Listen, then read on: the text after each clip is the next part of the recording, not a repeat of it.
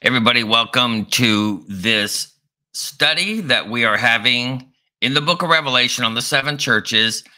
And what we're going to go over today is the significance of the church at Sardis. And just to put right out front is it is going to be a revelation of Jesus Christ. It is definitely going to be a revelation of his work as the second Adam, as he lays upon the cross and finds himself to be propitiation for our sins, and that he is bearing our curse. And it is a picture of his second coming. It is a huge picture in which he bore something we could never bear. And in regards to his humanity, it's so essential for us to take comfort that we have a mediator that is without spot, without blemish before God. And you're thinking, how in the world are you going to get this out of the church at Sardis? And it's going to be easy once you finally start seeing it and putting some of the pieces together. Remember, anytime that you're studying the book of Revelation, it is a revelation of Jesus Christ. That is your primary fix on your on your perspective. You fix your perspective on, well, how is it so in Christ? And then the Holy Spirit, who's always testifying of Christ, who has promised to reveal all things in which Christ has spoken in regards to himself, will bring to mind the scriptures. Don't be searching out other applications first. It's going to only confuse you. So if you just seek the truth as it is in Christ, the Holy Spirit, and praying for the Holy Spirit, praying for the humility that Christ is going to be glorified in the pursuit of the gospel, which is a revelation of Jesus Christ, revelation and the spotlight on the work of Jesus Christ, in which we could fix ourselves to the anchor and the hope and the rock that we have uh, before God. This is essential. So, without any more delay, let's get into our study.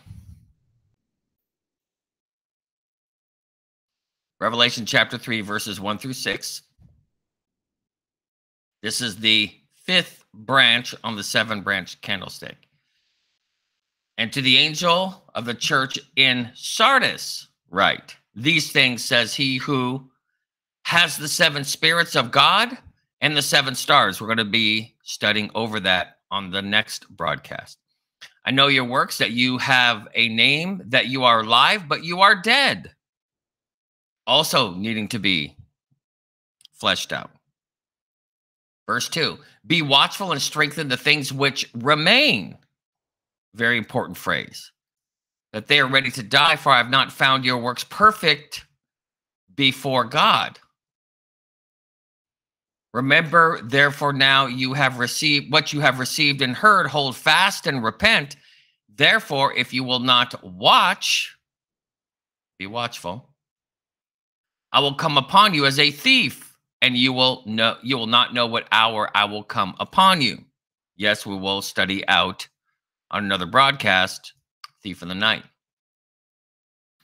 You have a few names, even in Sardis, who have not defiled their garments, and they shall walk with me in white, for they are worthy. Definitely to be studied out. He who overcomes shall be clothed in white garments. Very interesting around the garments and Sardis. I will not blot out his name for the book of life, but I will confess his name before my Father and before his angels. Very important phrase to not go by quickly. Again, the voice of the Holy Spirit to harden not our hearts.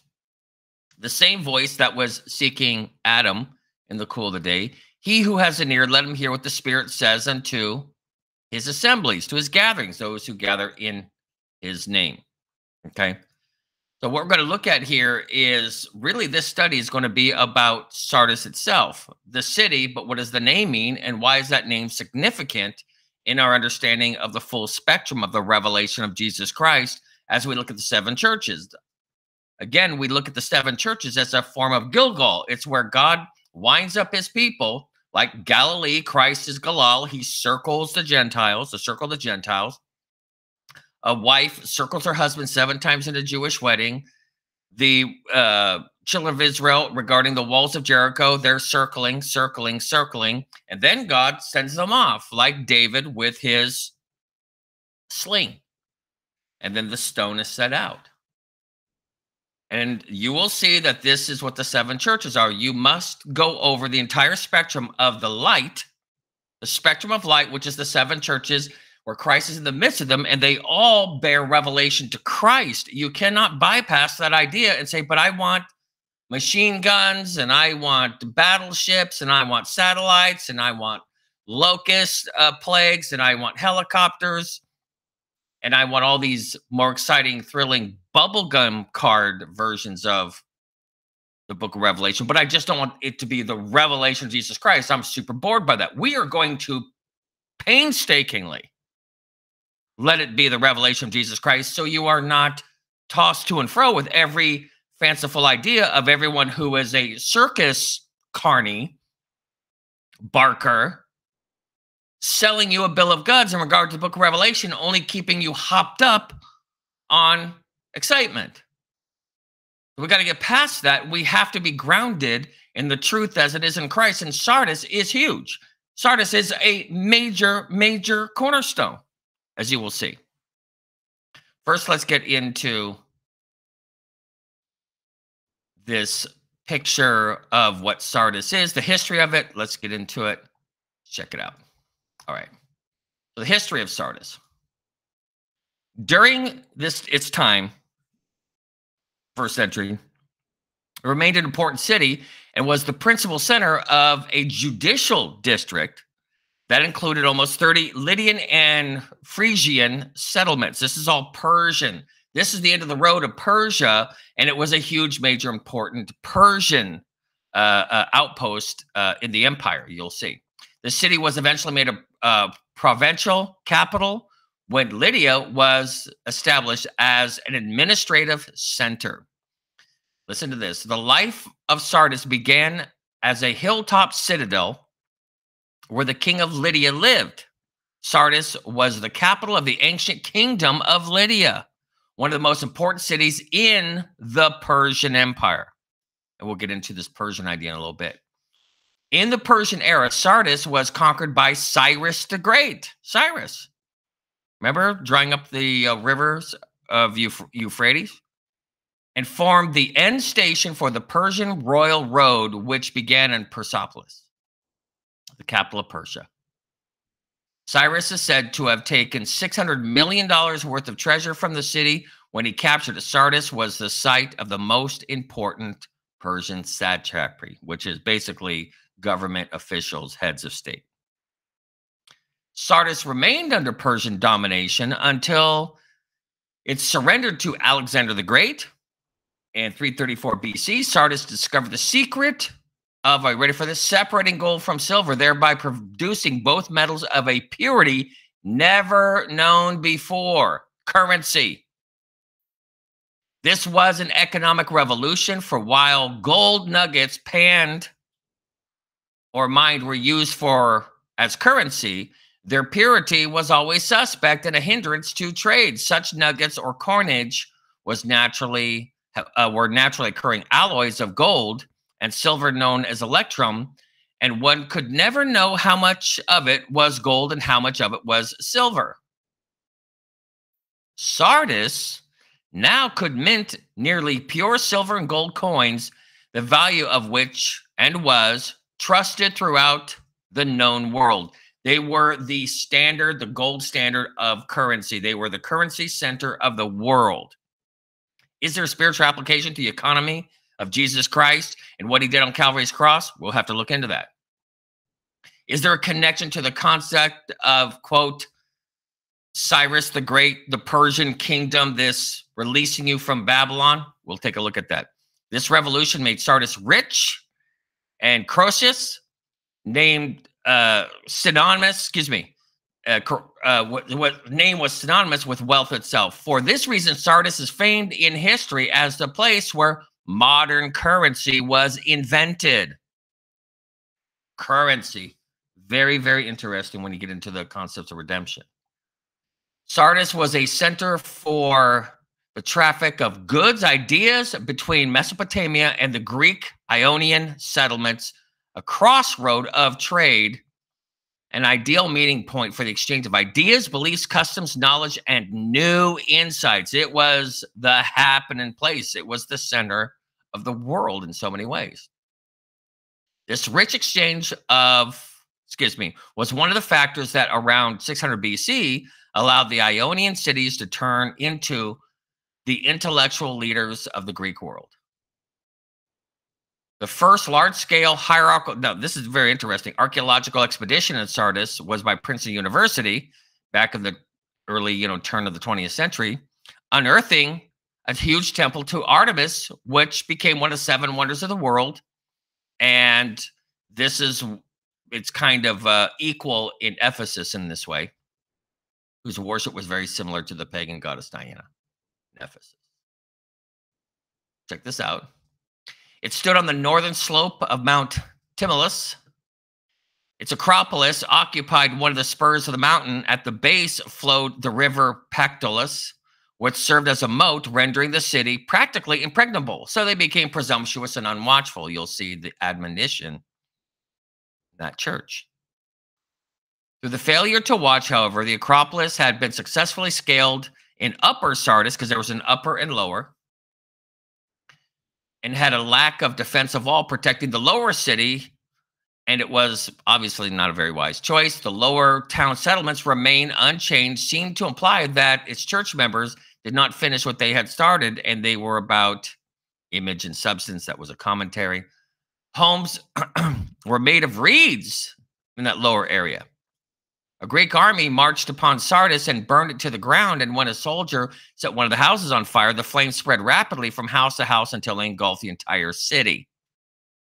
Even to this day in Turkey, there was a Robin Hood like tale of robbers that come down from the mountains, such as I could never really pronounce it, Shak il Jali to Sardis.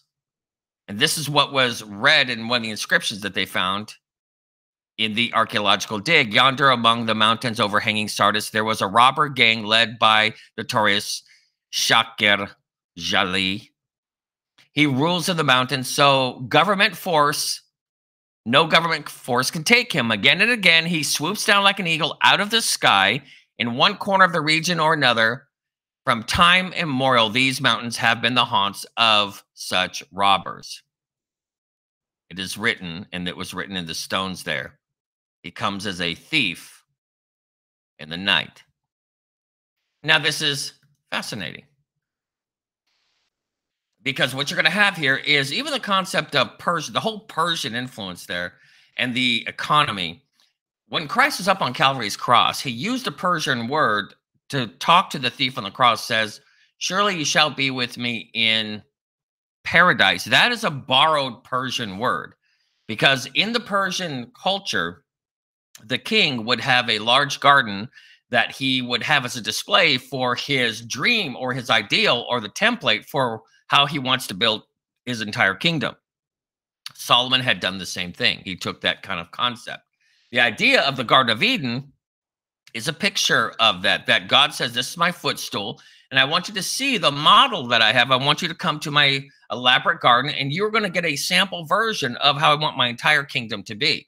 So it's going to be beautiful and manicured. It's going to be hanging gardens and waterfalls and exotic animals, and it's going to be peace, peaceable and and tranquil and glorious and exotic and wonderful. And so the idea of paradise, where we get the word Persia or Upharsin, many, many shekel Ufares. It's the idea of where we get Paris from or Parisian and that's even where Paris was. You know, this was that was the end to the Persian Empire, and so it was this idea of paradise, paradisio, in which there is beauty and tranquility and everything that God had intended for us, and it was modeled in the Garden of Eden. And so a Persian king would have, quote, as a footstool. In other words, the Ottoman Empire, that's where you get the whole Ottoman from. It's a footstool. And it was the idea of creating this very beautiful and elaborate and extravagant and opulent kingdom. wherever they quote this king places his feet, is basically the idea is it's going to beautify, enrich, and create a very uh, optimal kingdom. And so Christ actually borrows a Persian word up on Calvary's cross. Fascinating. Thief in the night concept there. Being watchful, the upper city seemed to be very well protected, and it was through this moat. And there's a great gulf fix that nobody can cross unless you were bidden. But the lower region, kind of like here on earth, we have heaven and then we have earth, is it was unguarded, unprotected, and all the houses were made of reeds and it was easily overrun and sacked easily. And so you're going to see a lot of parallels that in the city, and it's the center of purging gold and silver, faith, trial, tests. And you're going to see as we kind of move through this concept of what Sardis is, because Sardis was a stone in the Old Testament that was on the breastplate of the high priest. And what we're going to look at here is the word Sardis in the Old Testament is the word that we use to name the name Adam. Odem, root word Adam, which means red, ruddy. And it's the picture of the first Adam, Reuben. And we're going to look at how this was the first stone put upon the breastplate. And it was, are you ready for this? The chief cornerstone, the firstborn. You're also going to see parts where it says that you are dead but alive there is this weird contradiction. That language is used for Joseph when he was sold into slavery, and then they presented his blood drenched garments dipped in blood, rolled in blood, was presented to the father. He says, My son is dead, but yet the son was alive. He became a redeemer. And you're going to see in our study that Reuben was disqualified because he was the firstborn, but he defiled his position. And so, who took his place? Joseph became the firstborn, who was alive than dead. And he became this kind of picture of triumph and resurrection at, after he was betrayed by his brethren and bore the curse and came back triumphant. You're going to see this. So let's look at the idea of the word Sardis in the Old Testament, let's kind of get orientated around how this is a picture of firstborn, inheritance, and this picture in which Christ bore the curse for us. Check this out. So in Exodus chapter 28, verse 17 says, And you shall set it in settings of stones, four rows of stones. The first row shall be Sardis. And then it goes into the other stones. And you're going to understand this was a chief cornerstone. Exodus 28, verse 17 says, Mount four rows of gemstones on it. The first row will contain red carnelian. This is the same verse, but different translations. This is NASB, shall be ruby. This is HNV, Rove Odom. And the it's the word odom or Adam. It is pictured as something red or dyed red, red skinned, red stained. And you're going to see here how this is a picture where Reuben, if you want, actually, if you want to look at, uh, check this I want to show you guys something real quick. Is right here is um if I can zoom in a little bit more.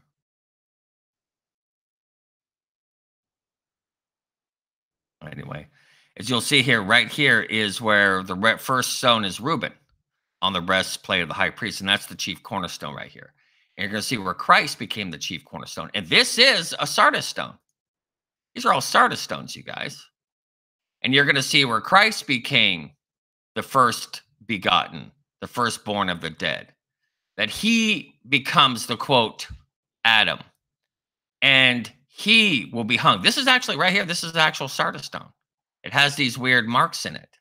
very fascinating how you're going to see how it represents the work of Christ upon Calvary's cross, not just by visual, but in every theological sense of the word. Very fascinating stuff. Okay. So we're going to look at here, and we're going to move through, is how Reuben failed as a firstborn, and Reuben is representational of Adam, a natural inheritor by designation of God in the order of God, and then he fails, he defiles his position, and then he is, quote, unstable as water. And you're going to look how Christ, quote, stabilized us. They carved the names on these stones, and it's a picture of how Christ takes something that is transitory, something that is unstable, and then he becomes that rock. He stabilizes us. He finishes our work. He writes our name in the Lamb's book of life. He has based upon his own establishment of what is righteousness. And God required the righteousness of a man for this covenant an atonement of a man, a perfection of a man, the obedience of a man. God entered into a covenant of life with a man, with men, with Adam. Eat and live. Don't eat and live. you know, you eat of this tree, you can eat of the other trees. Don't eat of this tree, you die. This was the covenant. And then it was the same thing on Mount Sinai, and forever and always will be righteousness, will be the standard in which God can say, You've lived up to the covenant, you have met the righteous requirements of the covenant. Therefore, I see you as a covenant keeper. Therefore, you are in a covenantal oneness with me. If you don't think that's important, you know nothing about eternal life. You know nothing about the scripture. You know nothing about Genesis to Revelation because that is the obsession of all the revelation of Jesus Christ is you must have eternal life only by the requirements of righteous perfect obedience. Hey, God bless Morocco and that American that is there. So what you're going to see here, you guys, is that we failed. Reuben failed. Adam failed. Christ prevailed. Christ succeeded. Christ overcame. And he bore our garments so we can bear his garments. And that is the huge theme of the church at Sardis. Cornerstone stuff, you guys. This is essential that we understand the chief cornerstone, Jesus Christ. All right. Let's get into our study. So, Reuben, which is very fascinating, the flag that was around the sanctuary, there were four main flags, and then each tribe had a flag, but Reuben was a flag of a man. Just a flag of a man. I could find that. I didn't even think of finding that picture, but it's it's out there. And what Reuben means says, behold the son, or look upon a son. Look upon this one that is held up before you. That's what the word Reuben means.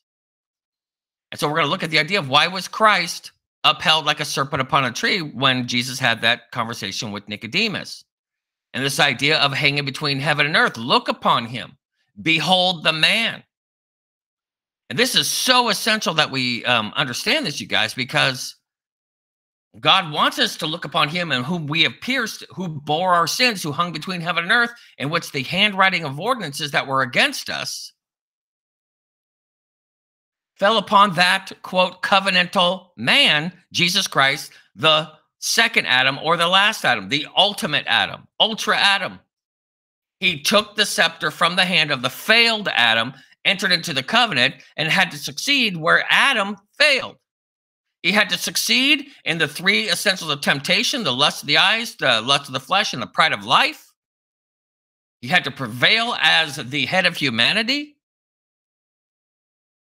And he then just comes as one that can ascend to heaven, represent us as a high priest, mediate for us, and say, Look not upon whomsoever, but look upon me, who is the perfection of a covenant of obligation. I entered into the world born of a woman, born under the law, born under obligatory covenantal promise of obedience.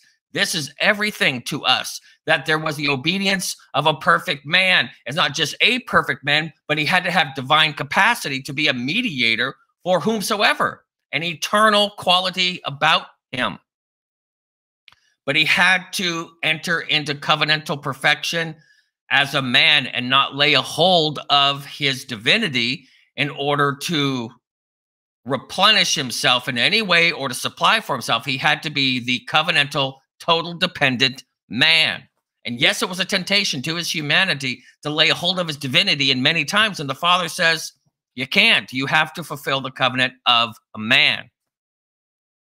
And the humanity of Jesus Christ is so essential to us, we don't understand it. We don't understand Calvary's cross. We don't understand his suffering. We don't understand the temptation. We don't understand why God would have to humiliate himself to enter into humanity, relinquish his throne in that way, and then do a start over point as the God man, and then have to succeed even under trial and judgment of his own people, be crucified, be condemned in every sense of the word, be sealed in a tomb, and then to triumph, and then to arise and mediate man before God. We don't know the epic, gargantuan, eternal, infinite mission that he was on and it was a great gulf that was fixed. There was no way it could be fixed. There was no way sin was too big that it took God Himself to come in flesh, to shed His blood, and to be a man to do it. And He had to do it as a quote inheritor. He had to do it as a firstborn quote, one that is a basar. The word basar in Hebrew is the idea of what? Of to be an inheritor. To a bazaar means to have all the riches, to have everything gathered towards him. He is the one that is the quote sense of what a firstborn is. It's not like it's just the order of a firstborn. Like, well, you're first. Well, then why did Joseph become a firstborn once Reuben failed? It's telling you firstborn is a title, it is headship. And Christ took the reins in which Adam had failed and fell under the dominion of Satan. The pall of death came upon the human family. Condemnation was the banner over all of humanity because we came from the condemned loins of Adam. Like it or not, that's just the truth. The reality is that Christ had to come and he failed. Um, excuse me, where Adam failed, Christ prevailed. Where Adam had a crushing, epic defeat, Christ was epically triumphant. And this is pictured in this bloodbath called Sardis. This bearing the curse, Sardis washed in blood, Sardis, bearing the guilt, Sardis. You're going to see it. That we are saved by his red blood and that he had to have his blood shed. And he entered into a horrific horror show in which he had to bear the sins of the world upon himself and he had to be hung between heaven and earth. Yes, as a thief between thieves. Not an accidental connection there, you guys. And you'll see that he was the, the son, the true son, the chief cornerstone son.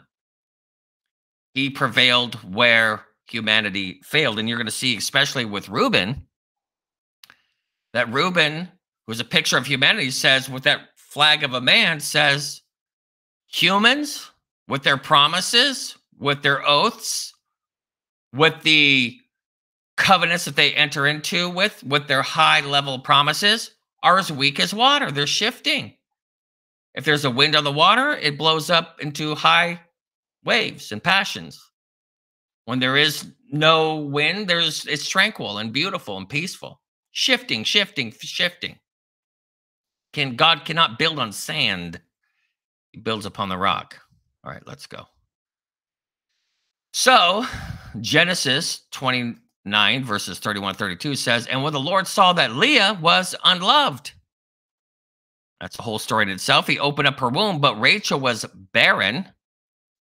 Very interesting how these parallels happen in other parts of the scripture. So Leah conceived and bore a son, and she called his name Reuben, for she says this The Lord has surely looked upon my affliction. Now, therefore, my husband will love me. And this is a bizarre picture of salvation. It's interesting, fascinating view of salvation. But look at this. This is this whole Jacob's blessing on the 12 tribes. Reuben, you are my firstborn, a type of Adam. Man, my might and the beginning of my strength. He's a picture of the first Adam, guys. The excellency of dignity. Remember, God had made him Adam that way. And the excellency of power gave him dominion. But unstable as water, and you shall not excel, Reuben slash Adam. Because what did you do? You went up to your father's bed and you defiled it, and you went up to my couch. I'm going to have to touch on this real quick before we move on.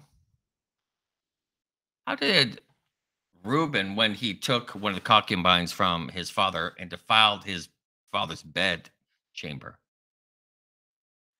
how is that a picture of what happened in the Garden of Eden? What is the bedchamber? What is the Holy of Holies? What is the inner sanctum of the house? What is that special place in which there is a shakin, a shekinah, a resting, a bed, a place of nakedness, which angels desire to look into as covering cherubs? The Holy of Holies is a picture of God's bedchamber. And the Garden of Eden, which was a chamber within the rest of the world, was a bedchamber, his footstool. And in the Song of Solomon, that is pictured as a bedchamber. You know, the pillars of our bed are as the cedars, etc. And what's so fascinating about this idea of the Garden of Eden, it was God laying himself open as naked on the cool of the day at the even time, at the even time where God did not have any hierarchy a husband and wife, when they're in the bed in intimacy, it's even. There is something very atoning around two becoming one. To be naked and unashamed. Why do you think he had them naked and unashamed? It is a bedchamber. The Garden of Eden was a picture of us being invited into the most intimate of relationships with God in which there is feeding. Here, eat of this fruit. Don't eat of this. Everything else I've given for you to have. To bear the expenses of this thing, don't eat of this tree. I will bear that. I can live where there is no life. You cannot. Take from my bereshit, take from my fat, take from my abundance, take from me just filling up these chambers that I create for you so you can be lavishly adorned so you can be opulently provided for. That's the Garden of Eden. That's where the idea of God created Bereshit. As a husband, and the intimate relationship that God had with humanity was a picture of him securing a bride for himself. And allowing a third party to come in and to eat of that fruit is adultery. It's defiling the marriage bed. And we don't understand of how much it was so violating to God that it created death and misery and dissension. And immediately they're putting on costumes and garments and blame shifting, and everyone's blaming each other. And it created bruises and death. And the expulsion from that bedchamber. Get out. I had such a thing happen in my life. First time I ever went to a type of a church service, somebody invited me for Easter. A friend wanted me to house her friend. She was married to this guy named Bob. Excuse me. He says, I have a friend coming in from Utah, Moab, Utah. Can he stay at your place? Sure, sure. He's a friend of mine and Bob's, and he has no place to stay. I come home. It's a studio apartment they're being uh, they're having sex on my futon as I walk in the door. It's the first time I ever visited a church. And I caught them on my bed. Cheating. She's cheating on her husband with this quote friend of the family. In my bed when I'm in the middle of having a horrific trauma in my own life where the person that I was with, that I was in a covenant with, she was having a sexual relationship with some guy at her work and also my father at the same time. So I walk into this nightmarish hellscape that the whole world seems to be in violation of the basic covenant of a relationship that was truly heart ripping. And even the book of Malachi says that divorce is as violence to the soul, it's the tearing of your soul. And God says, you have to go. You have to go. It's the word that he literally that he cast them out or that he sent them out is the word get, like get out. And it's the same word for divorce in Hebrew, a get. Go ahead, go go to a, a, a Orthodox Jewish community and say, when you get a thing called a get, what is that? I said it's a, it's a divorce. It's a bill of divorce. A get. It means to get. Go, go, get out. Go. You ruined it all. And that was Reuben. And that was Adam. And that is us. So, how's that reconciled? Through lots of pain, lots of suffering. And the picture of Joseph is a picture of redeeming the very thing that Reuben had destroyed. And Joseph was brought through a crucible, and he became one that was a kinsman redeemer for his brethren. And you'll see this played out here.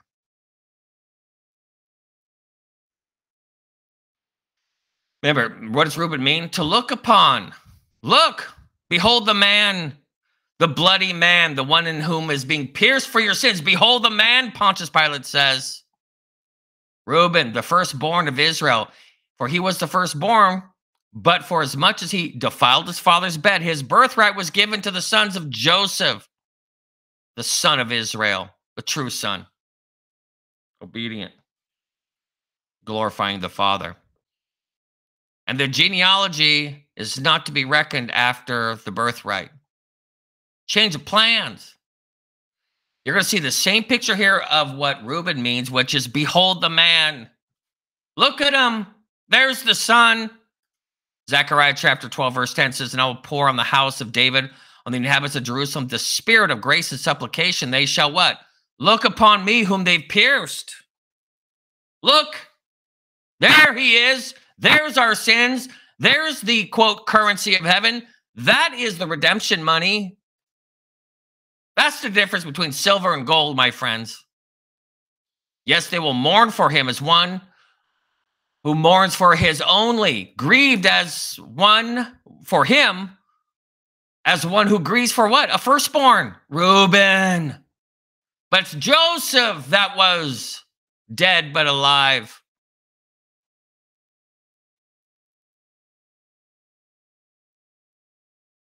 For some reason, the teachers in Israel just didn't get it. They didn't understand the fundamentals, the plan of salvation. And what does Jesus say? He has this conversation with Nicodemus, who comes in the middle of the night, who's ashamed to even be associated with Jesus Christ, but saw the, the divinity of God flashing through that humanity. And Jesus answered and said to him, Most assuredly, I say to you, unless one is born again, Reuben, he cannot see the kingdom of God.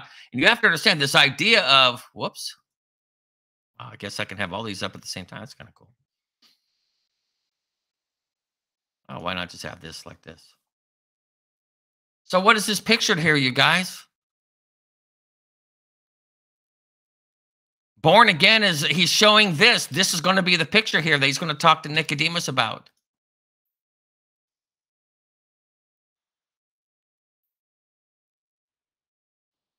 This is what it means to be born again.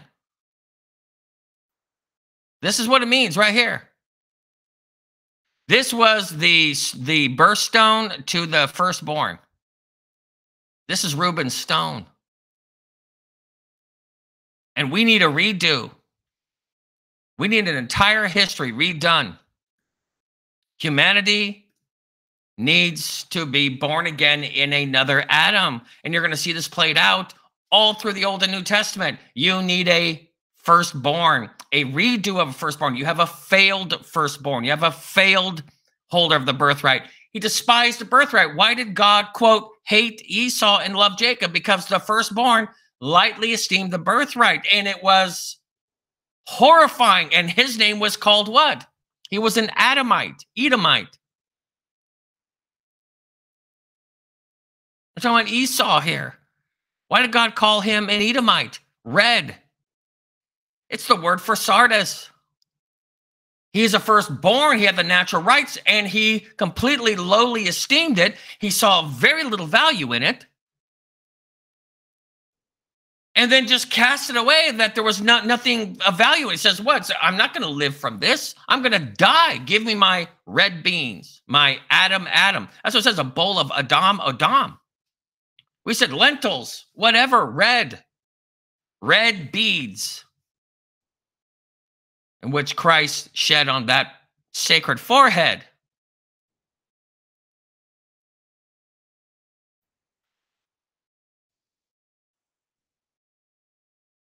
Go back to our study.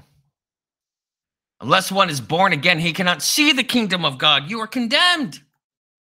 Reuben slash Adam. Nicodemus said to him, How can a man be born again when he is old? Can he enter a second time into his mother's womb and be born? And he says, Listen, man, you don't, uh, are you talking epic here? Or are you just talking fleshy, materialistic, carnal? Most assuredly, I say to you, unless one is born of water and of the Spirit, he cannot enter to the kingdom of God. That which is born in the flesh and that which is born the, uh, of the Spirit do not marvel that I said to you, you must be born again. Why is Christ saying this to him? Because the whole concept of being, quote, I'm sorry, I should have been showing you guys this, showing the stream. He's telling him right here, why are you marveling at this idea that you have to be born again? Because even the book of First Corinthians that talks about the second Adam, the last Adam, that Christ is now the quote, first begotten of the dead. The book of Revelation makes it abundantly clear. He's the first begotten of the dead. We're thinking, well, Moses was raised before him. No, no, you understand. He is the true and ultra archetypical inheritor.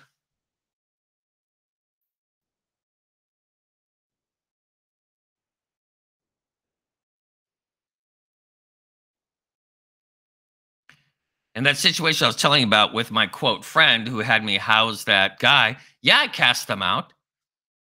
They flung up, they jumped in my closet, which was wide open because it was the studio, and they're trying to cover themselves with my clothes. And I said, Get out, get out right now, get out, get your stuff out of there. And it was a huge crisis turning point. I didn't want to live in this world anymore.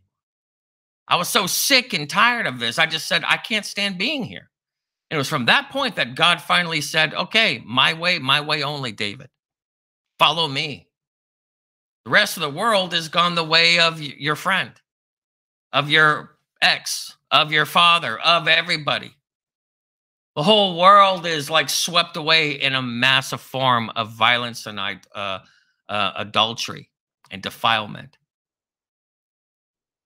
And I got it. I got it in my soul. I got for the first time, maybe God feels this way.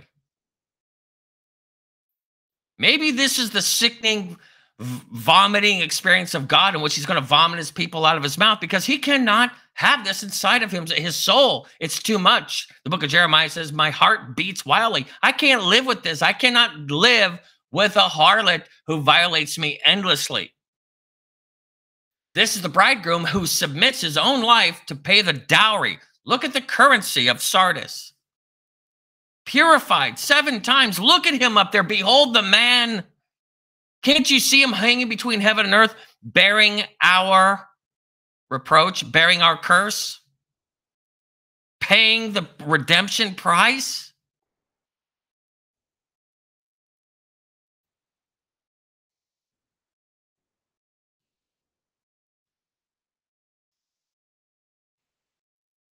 Why are you shocked? Nicodemus answered and said to him, How can these things be? And Jesus answered and says, Are you the teacher of Israel, the head teacher of Israel, and you do not even know these things? You guys, this is so fundamental to the scripture. And I know people who seem to know a bunch of scripture and a bunch of theological points, and they study, you know, systematic theology. They study the great theologians. They study this school of thought and that school of thought. And they're really into making these points in the Greek and the Hebrew and the Aramaic. They really love talking about the various kind of grammatical structures that's in the Bible and the historical philology in which they are dissecting and they are exegeting a text and etc. And they're really showing off all of their wares and their expertise, but they're nothing more than blind scribes and Pharisees. The entire revelation of God is lost, but yet they bear the name theologian, self titled, self serving title with your puffy hat, marching around with your robes in your little document with a little bow around it.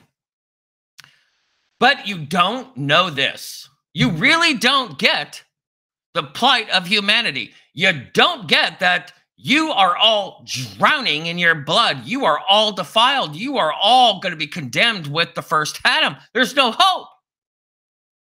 I'm a holy God and I require holiness. You think God let down the standard of holiness and righteousness because we sinned?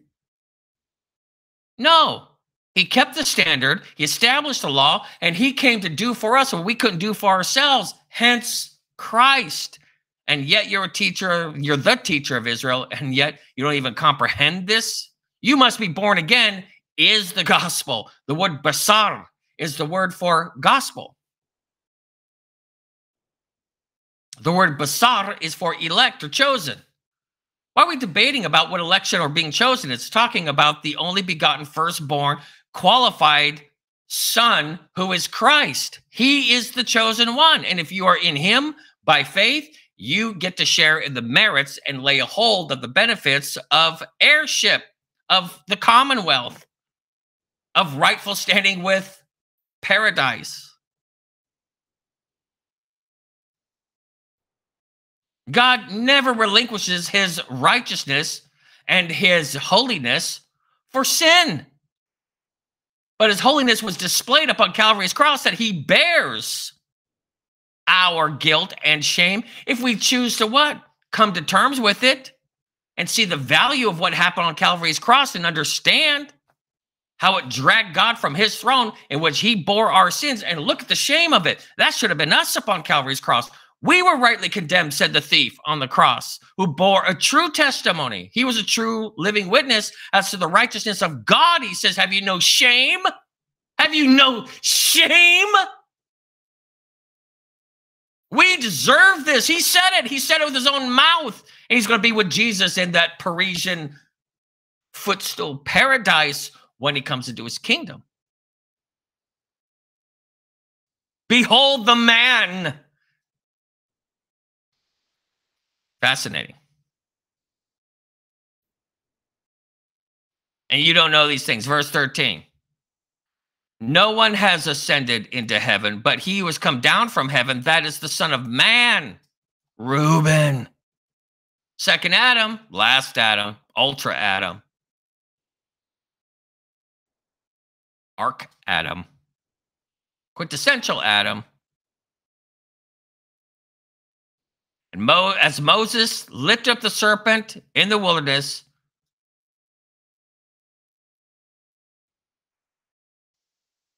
Even so, must the Son of Man be lifted up as the second Adam.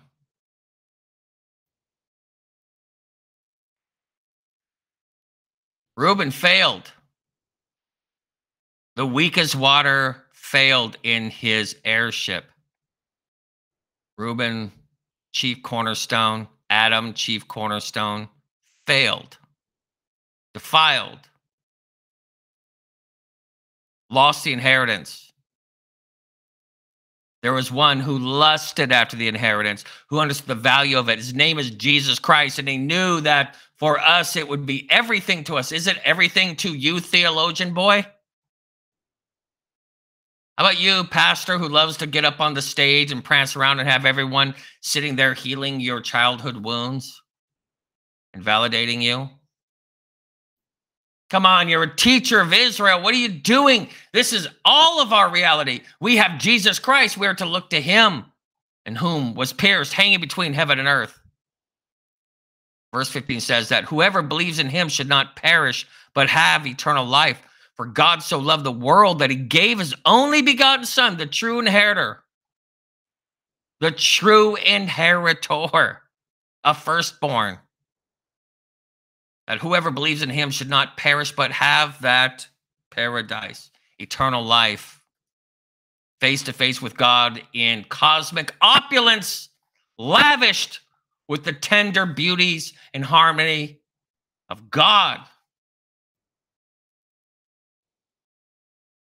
Yahweh Rishi. God heals. God is restored.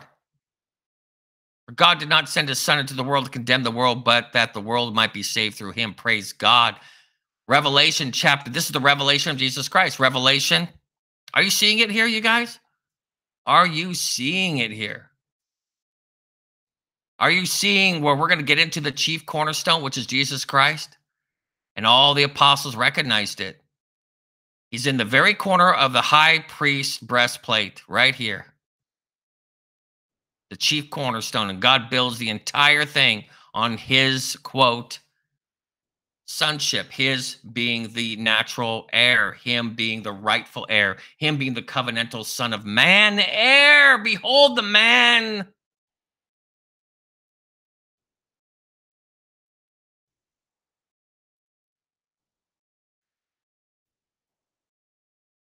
The faithful witness. Four gospels here. Book of John. The firstborn from the dead. The book of Luke the rulers of the kings of the earth, the book of Matthew, to him who loved us, washed us from our sins in his own blood, the book of Mark. Four flags, right? The ox, the lion, the man, the eagle.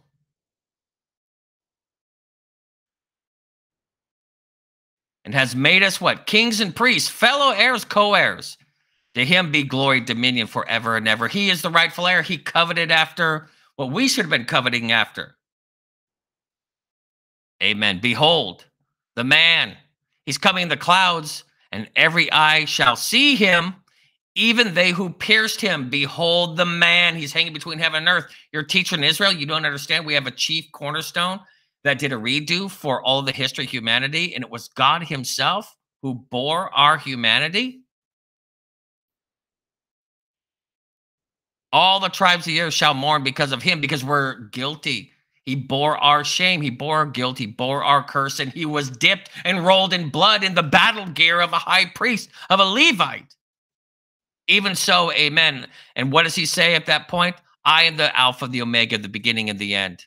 I am the I am I am the very redo and I am the reality, the summary of all things. I am the chief cornerstone. I am he who is, who was, and who is to come, the Almighty. Think, praise God, that of all the things that he brought to bear to the case of humanity, he brought him who was life eternal, who had no beginning, no end. The book of Hebrews makes us abundantly clear. We needed the minimum of infinity to stand before God and say, impute the merits of a perfected man who has bore every single obligatory right of a covenant and an oath. I swore by an oath. I did it based upon my own righteousness. I am saving them according to my righteousness, says Christ. I lived out the covenant of man and I did it according to my works. Yes, we are saved by works, by the works of another man. And that's why the Sabbath is so essential because it is a sign and a seal that we are memorializing the fact that God has done a work that none of us could have done. And we present that work as a finished work to God, and we are well pleasing in his nostrils. And we will bear um, the riches and the eternal reward based upon the works of another man's righteousness in which he entered into. He shouldered, he yoked, and he entered into the struggles and the crucible of a requirement to fulfill all covenantal righteousness. We made a oath before God to keep all the law of God and to be pleasing in his sight, to love him with our heart, mind, soul, and strength, and love our fellow men and ourselves. Nothing was more summarized and quintessentially, essentially showcased than that reality in the person and the work of Jesus Christ himself, the ultra man, the covenant man, relying upon the Father as a man would, and then bringing to bear with the infinite qualities of Him also being the Son of God and Him being the no beginning, no end, eternal reality, that we need an application to all of our sins to represent all and any and whosoever shall come to God with an infinite capacity, we needed an infinite one. The very one whom, whom we violated and whom we sinned against and whom we have shamed into an open shame. We violated the marriage bed in the Garden of Eden, and we've done it every day of our lives since then. We've come from the loins of Adam. And the horrifying reality is, is we have shamed God through the town, through, through the cosmic village. We dragged around his name. Oh, I'm his wife, and we're just a nasty, crooked, lying, mouthy, out of control whore. And it is embarrassing to the angels. We are the prodigal child. We are Gomer to Hosea. And they're all looking at him saying, Wow, look how awesome and majestic and holy this King Solomon was supposed to be a picture of, and Shulamite. And, and look at her. Look at what a horrible, shameful thing. And then she's she is bringing you to an open shame before an entire watching cosmic universe that is watching the great conflict between good and evil. And this is the one that you're choosing to marry. And the only way you're going to reconcile this thing is by bearing her debt. Where is the repentance? Where's the brokenness? Where is us beholding the man and seeing in whom we pierced? This was the one who laid down his life, and this very life was the very life that we violated, we polluted, we shamed. Aren't is there no shamefacedness in the bride of Christ anymore? Are we all with the far, harlot's forehead and we don't care? And I don't care. We're rolling our neck, getting all nasty all the time, and we're texting our little side boyfriend as we're saying mm, "I love you" with our weird cigarette breath, or as we're trying to make out with God. Wow, guys! Wow! Where's the repentance? Where's the brokenness? Where's us seeing that this is our privilege? Where is our lust for the birthright?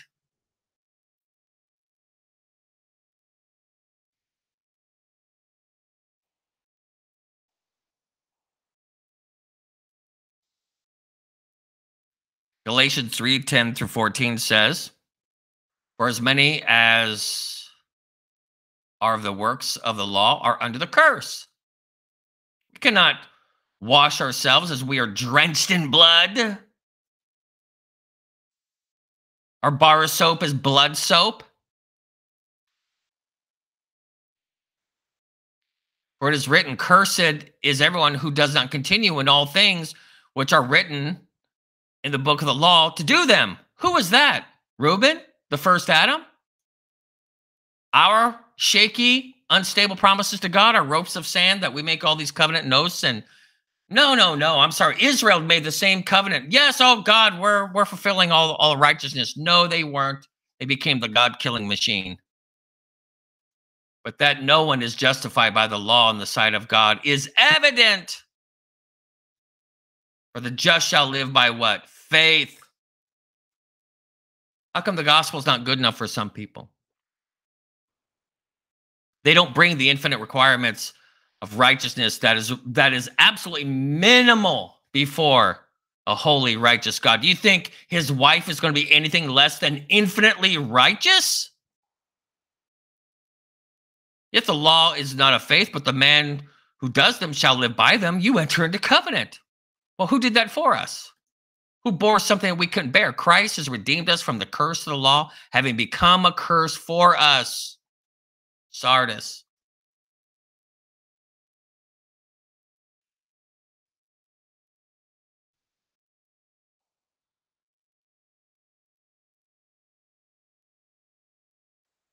Cursed is everyone who hangs upon a tree. Garments dipped and rolled in blood. Shame, guilt, the idea of a curse is the constant issuing of blood, the woman of 12 years. All of our righteousness are as filthy rags. That is menstrual rags. That the blessing of Abraham might come upon the Gentiles, which is us, in Christ Jesus, that we might receive the promise of the Spirit through faith in that man's covenantal perfection. The just shall live by faith, you guys. We live by another man's perfection, our bridegroom. Any amens? Look at this great quote. I love this quote. Interesting quote from manuscript 67, 1898. It says, In consenting to become man, Christ has manifested a humility that is the marvel of the heavenly intelligences. In itself, the act of consenting to be a man would be no act of humiliation were it not for the fact that Christ's exalted preexistence, no beginning, no end, he is rightfully God, creator, Yahweh. And the fallen condition of man. But when we opened our understanding to realize that in taking humanity upon him, Christ laid aside his royal robe, Philippians 2, his kingly crown, his high command, and clothed his divinity with humanity, that he might meet man where man was. How far down did he go? And bring to the human family moral power to become the sons and daughters of God, to redeem man. Christ became obedient unto death, even the death of the cross, the shame, the guilt. Sardis, you see the pictures there?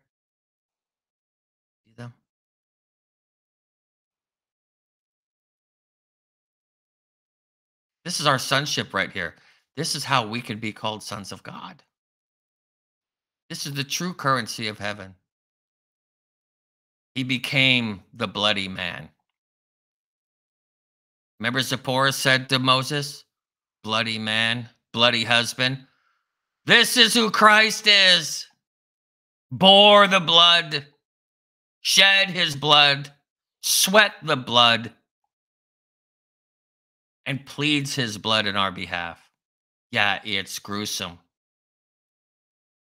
Remember, the, we're going to get into the prophecy of him whose garments are rolled in blood and how he defeats the enemy based upon his bloody garments. Look at my blood that was shed for them. Have we no shame for what we have accosted and assailed and abused and assaulted Christ with? Weren't people pricked to the heart when they realized when the Holy Spirit fell upon them that we put him up on Calvary's cross? We've crucified him. We must be born again. We cannot be of the blood of Adam. We need the blood of the second Adam pleading in our behalf, standing perfect and pleasing before the eternal Father we need his perfect mediation on our behalf. Amen. The humanity of the Son of God is everything to us, or we would have no access to heaven. It is the golden link chain which binds our souls to Christ through Christ to God. He is Jacob's ladder. He is the eternal highway. He is the great gulf that has been fixed, but now he has joined the two infinite separated parties together. This is to be our study. Christ was a real man, Son of Man. That's what he mediates in the book of Daniel, chapter 7. And he was God in the flesh. And when we approach the subject of Christ's divinity, clothed with the garb of humanity, is that a casual subject? Is that something that we should just kind of lightly just drive by at 500 uh, miles an hour? goofing around, flipping through the radio as God's trying to somehow get our attention on this, we may appropriately heed the words spoken by Christ to Moses at the burning bush. Quote, Put off thy shoes from off thy feet, for the place whereon thou standest is holy ground. You're at the foot of Calvary's cross. You see who's up there? God is up there bearing your guilt, your sins. And we are too good to confess them. We're too proud to own them. We must come to the study of the subject with the humility of a learner, with a contrite heart. The study of the incarnation of Christ is a fruitful field and will repay the searcher who digs deep for the hidden truth. Is that not absolutely beautiful to understand that?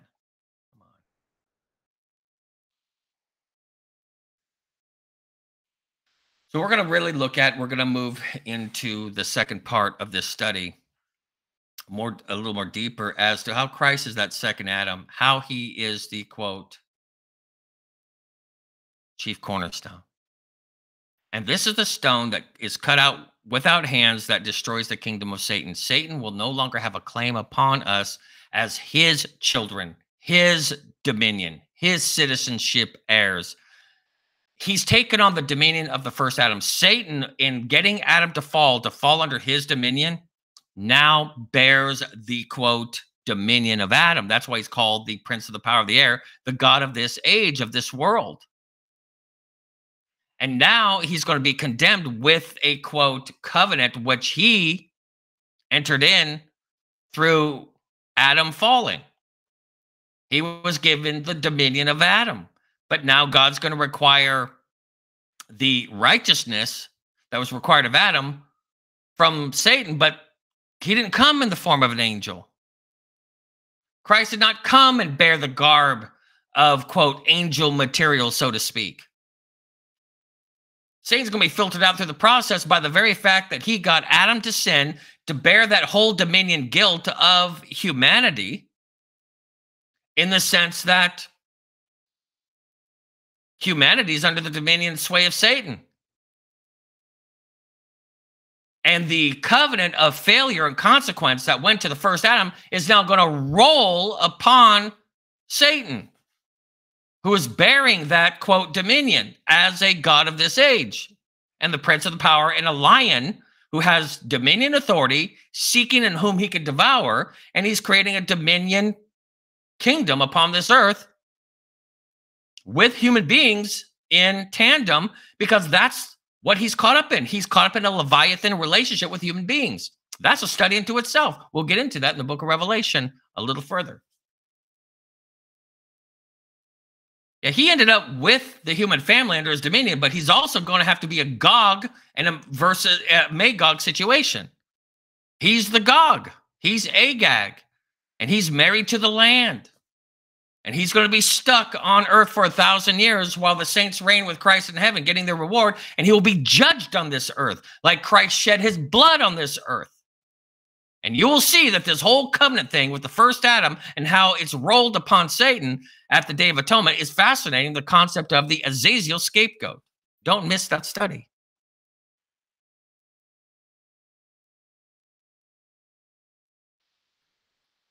So, resurrection, eternal life. 1 Corinthians 15, 45 through 49, the scripture tells us that the first man, Adam, which is a Reuben picture, became a living person.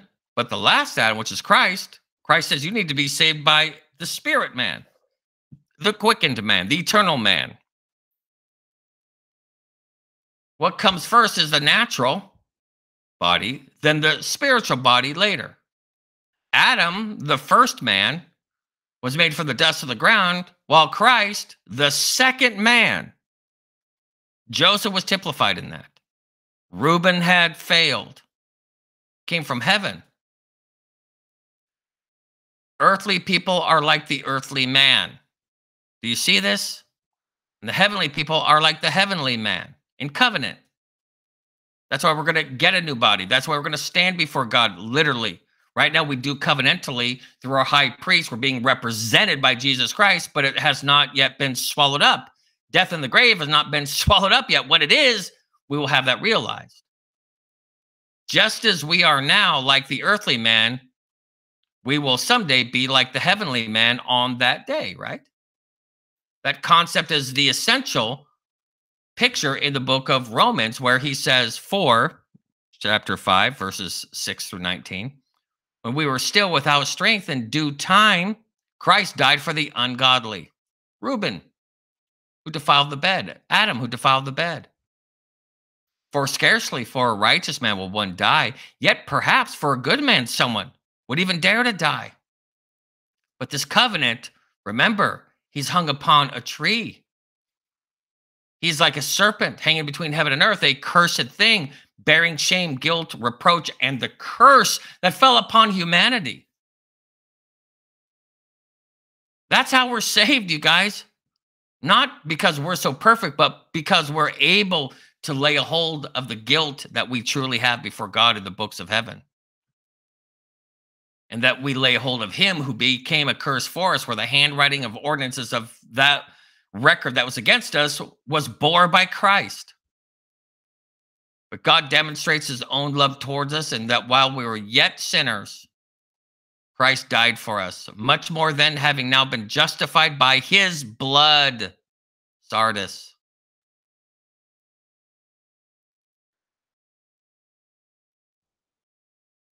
We shall be saved from wrath through him. For if when we were enemies, we were reconciled to God through the death of his son, thief on the cross. Remember me when you come into your Persian Empire after the destruction of Babylon. Much more, having been reconciled, we shall be saved by his life, a second Adam, a life giving spirit. And not only that, but we also rejoice in God through our Lord Jesus Christ, through whom we have now received the reconciliation. Here's Jacob's ladder right here, you guys. There it is. Reconciliation.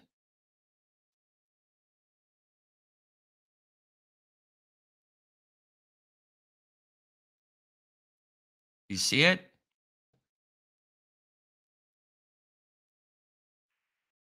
Therefore, just as one man's sins entered into the world and death through sin, and thus death spread to all men. Why? Because we are in constituted, we're in the loins of Adam, we are under his posterity.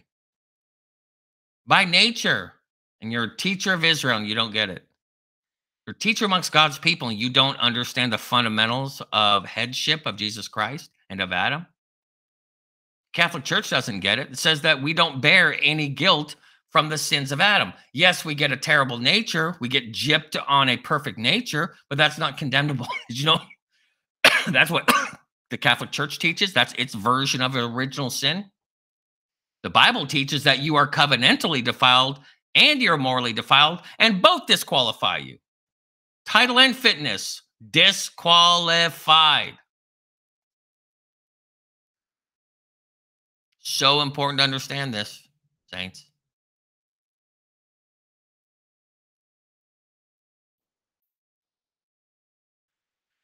Because all have sinned, for until the law, sin was in the world, but sin is not imputed when there is no law. In other words, God made covenant.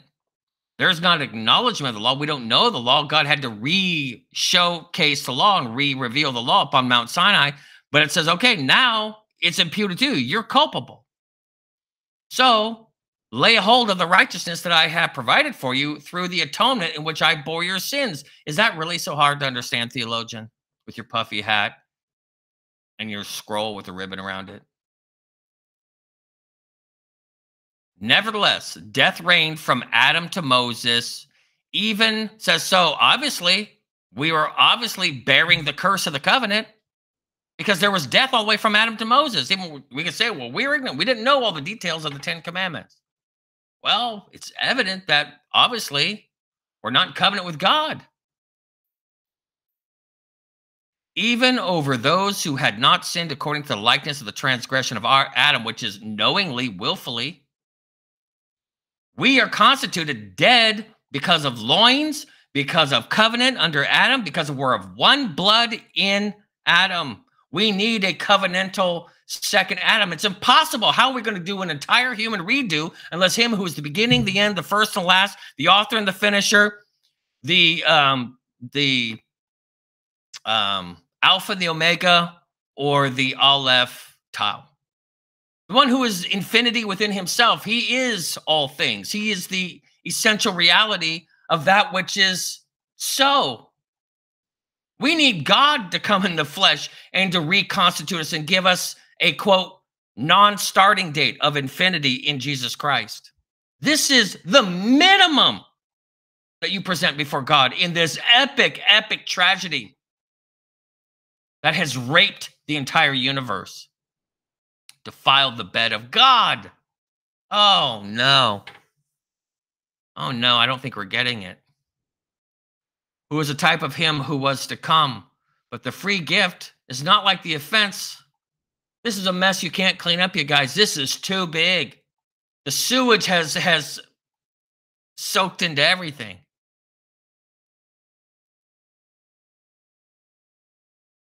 This is a murder scene.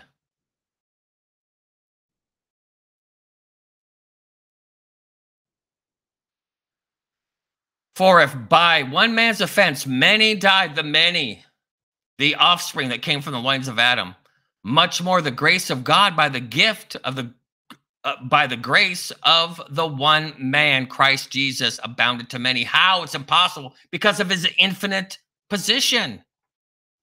The gift is not like that which came through the one that sinned,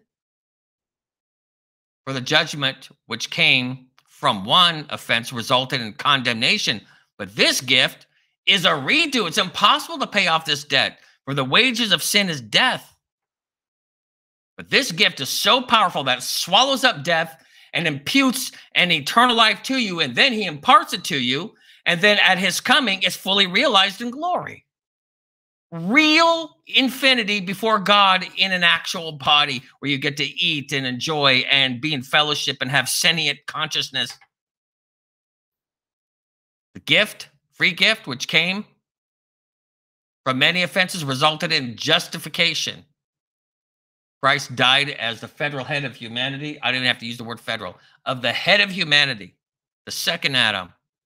For if by the one man's offense death reigned through the one, much more those who received abundance of grace and the gift of righteousness will reign through the one, the inheritor, the only begotten, the Basar, the elect, chosen, firstborn, that's where the word body comes from. Bazaar, like you go to a market and all things are gathered in one place.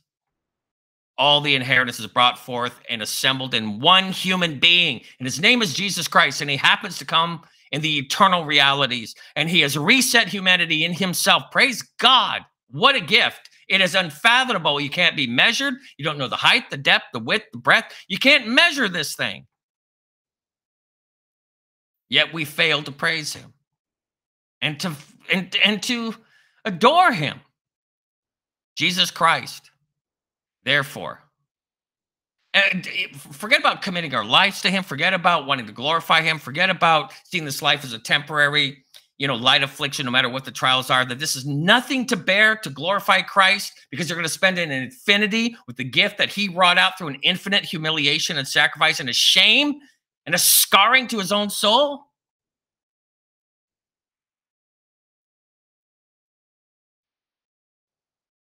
What a mediator. What a long suffering, compassionate mediator for the blind and the ignorant. Till that Holy Spirit animates us and pierces us, who have no appreciation on Calvary's cross. Therefore, as through one man's offense, judgment came to all, resulting in condemnation, even so, through one man's righteous act, the free gift came to all men, resulting in justification of life, righteousness, perfection, right standing with God, eternal life, paradise, dwelling with Him face to face, restored, reconciled, and brought back into the bedchamber. Song of Solomon stuff, you guys. Whereas by one man's disobedience, many were constituted, made, and rectified, I mean, uh, reckoned as sinners. So also by one man's obedience, many will be, quote, made righteous. Now, this is what's so important to really understand.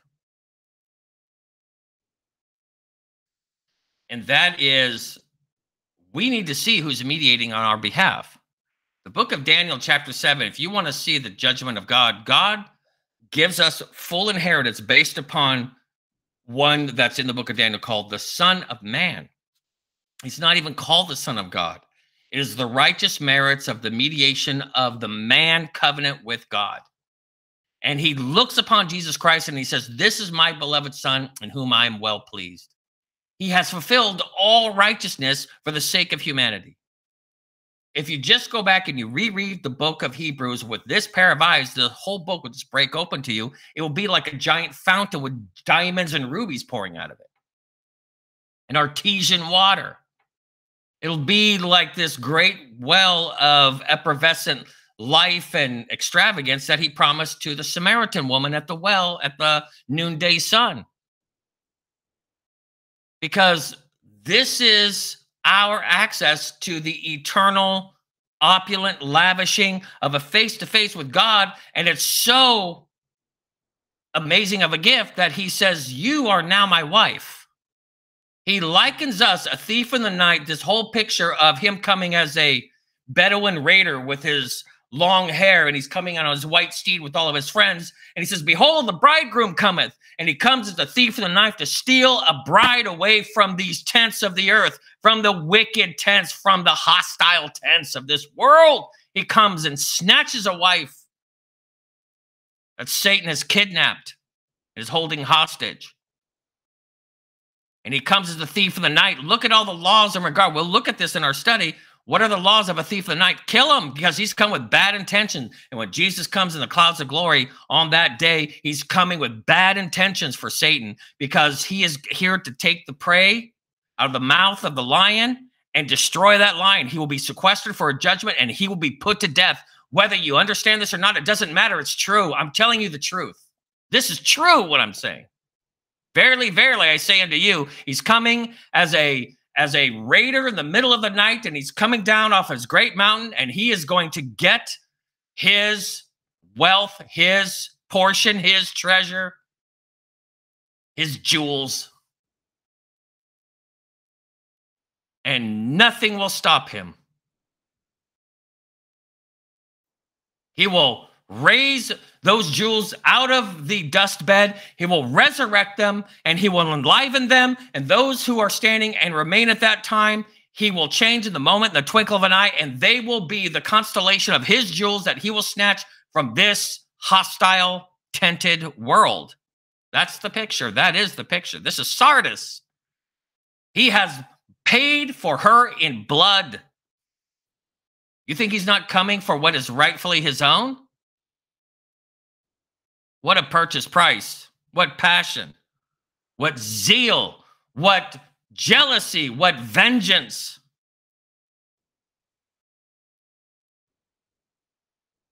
So he's pictured in this majestic warrior outfit. Did you know that the high priest is a picture of God going to war with Satan?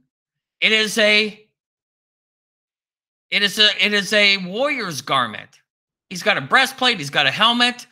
When you're looking at the quote breastplate of righteousness, the helmet of salvation. It's not talking about Roman soldiers. It's talking about the high priest, in which it is a picture in which Jesus Christ is mediating as an advocate and he's going to war, imputing life and righteousness to our account. So there is no dominion of sin and death when Satan is sitting there pleading saying, This is my dominion. This is my wealth. You can't take them. And he contended over Moses' body, saying, What do you mean? He sinned against you. There's no way you can have him. This is mine. And Jesus came down in Michael garb, warrior garb, and says, Don't you touch him. I have redeemed him.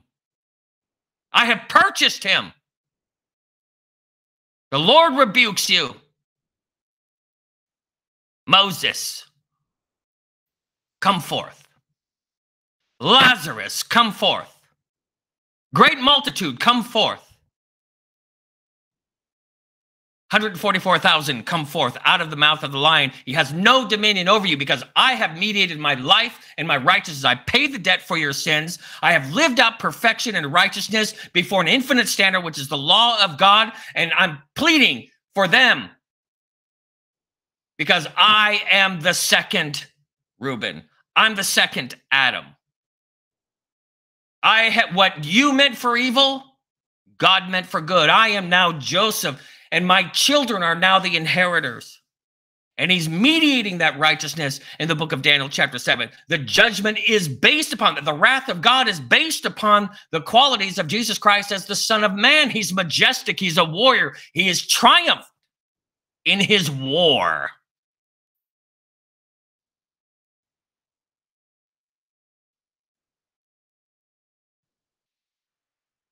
So let's look at this Odom, Adam high priest, this red priest. The punishment of the iniquity of the daughter of the people is greater than the punishment of the sin of Sodom.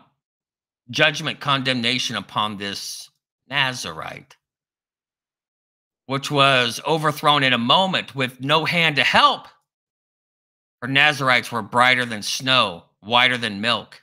You're going to see the Song of Solomon. You're going to see the book of Revelation. You're going to see the book of Daniel here.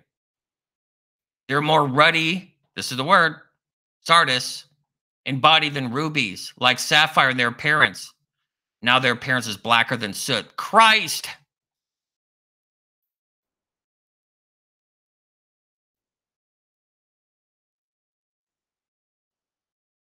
They go unrecognized. You see this here? They did not recognize him. He was be beyond recognition. He was so marred that he wasn't even like a man, he was treated like an animal. Like like a slaughtered lamb.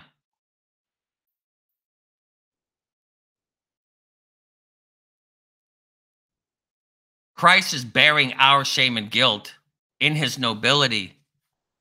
Their skin clings to their bones, became as dry wood. Why did Christ say, I thirst? Why did he say, I thirst?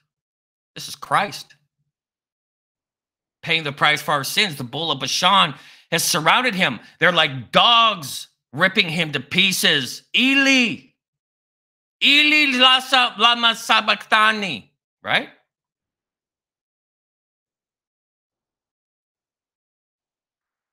Making me thirsty is talking about.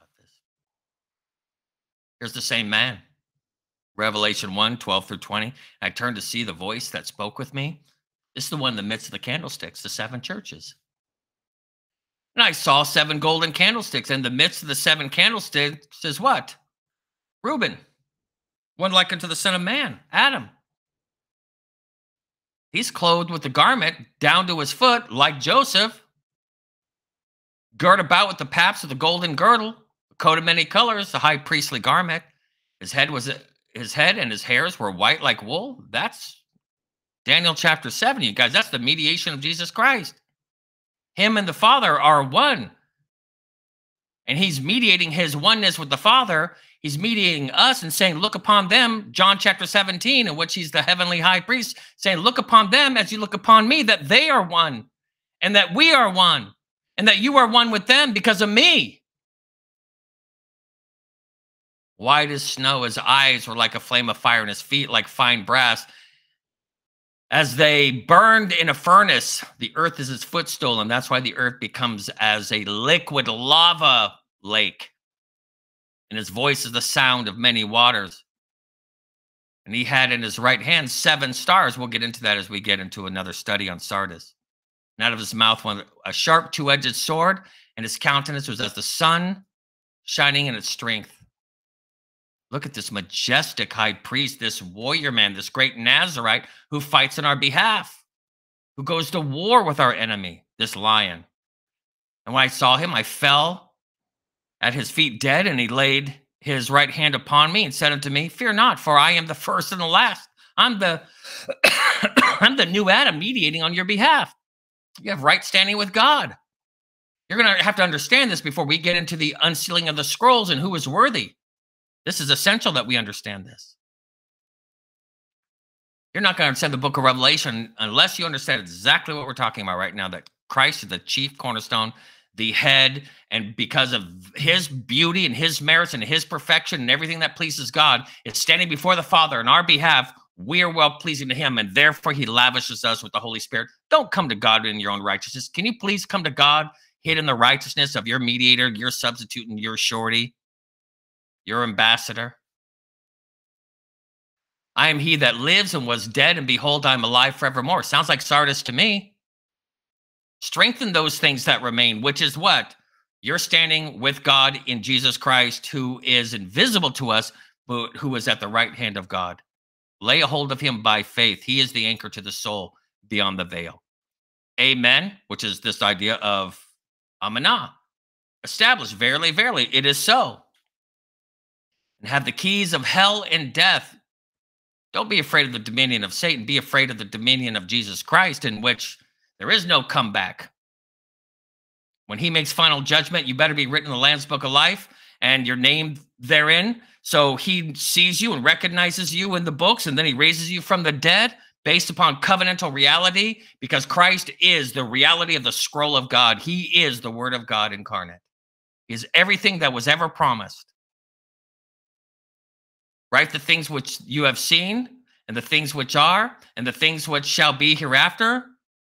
Our entire history is in the past, present, and future in Jesus Christ. He is the living document made manifest, perfection, all of our hope is in him. When Satan's getting you to look at your past or getting you to dread the future or getting you terrified of your present standing, cast those away. Put your care upon Christ, for he cares for you. Be anxious for nothing.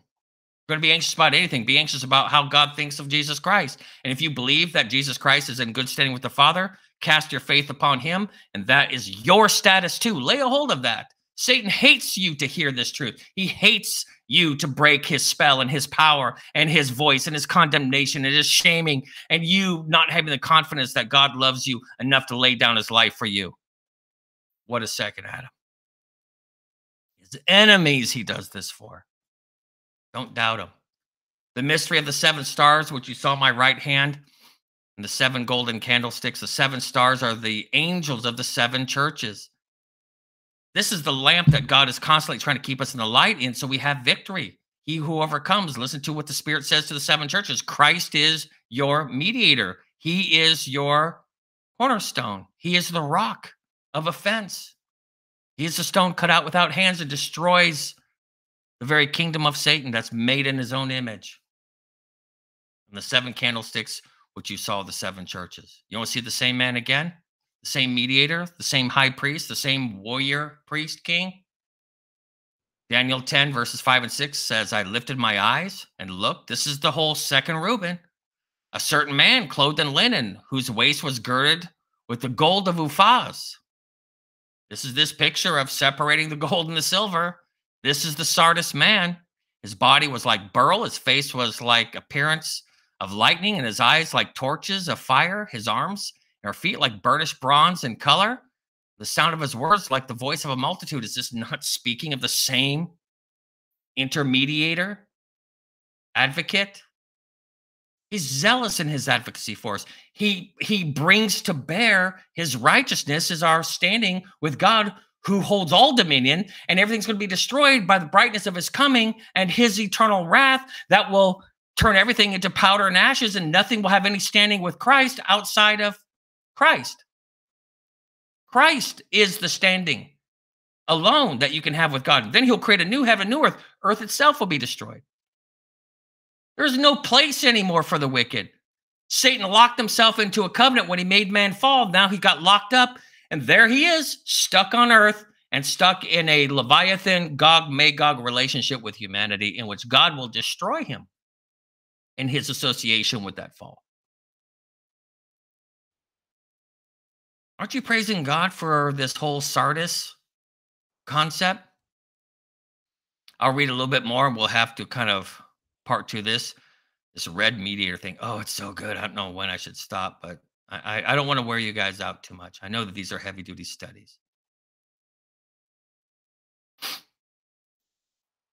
Song of Solomon, the same picture. This is our high priest, you guys.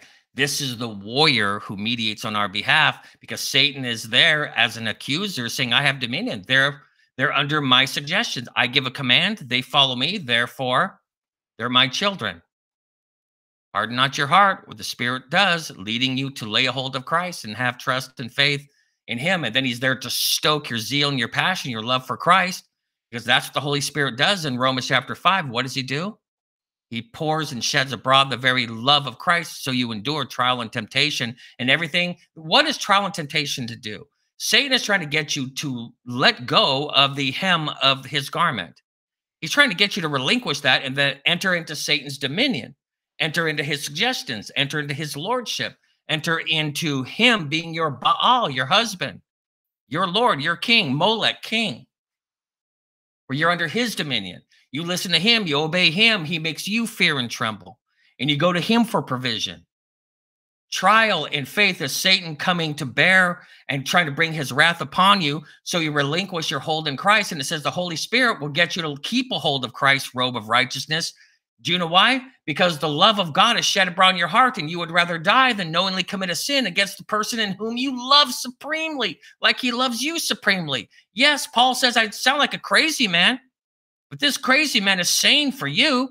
This is sanity. It's insane to follow Satan. If you really knew these truths, you'd be insane to follow him who will perish in the end and has no reward for you, right? Look at this man a little bit more.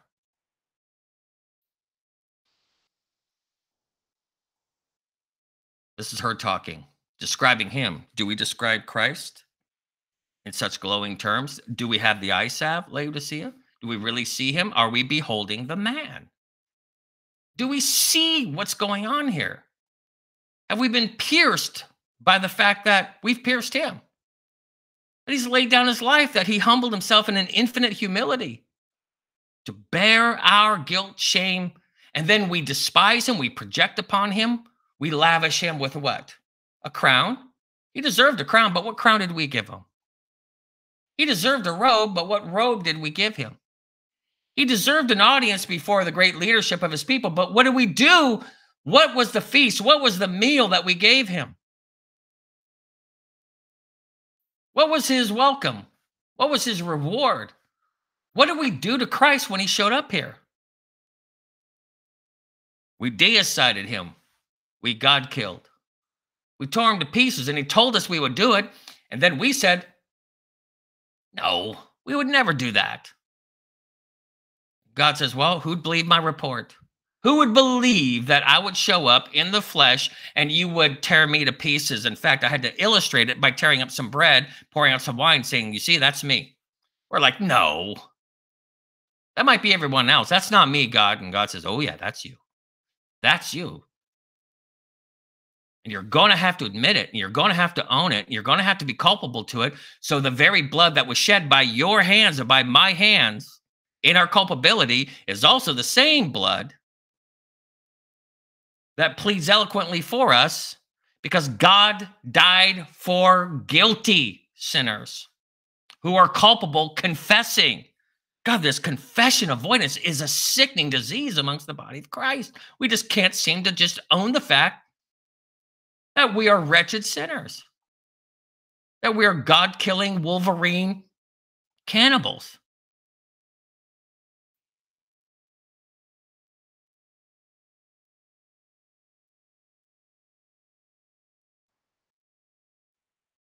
Christ is the true firstborn. Look how majestic he is, white and ruddy, chiefest among 10,000.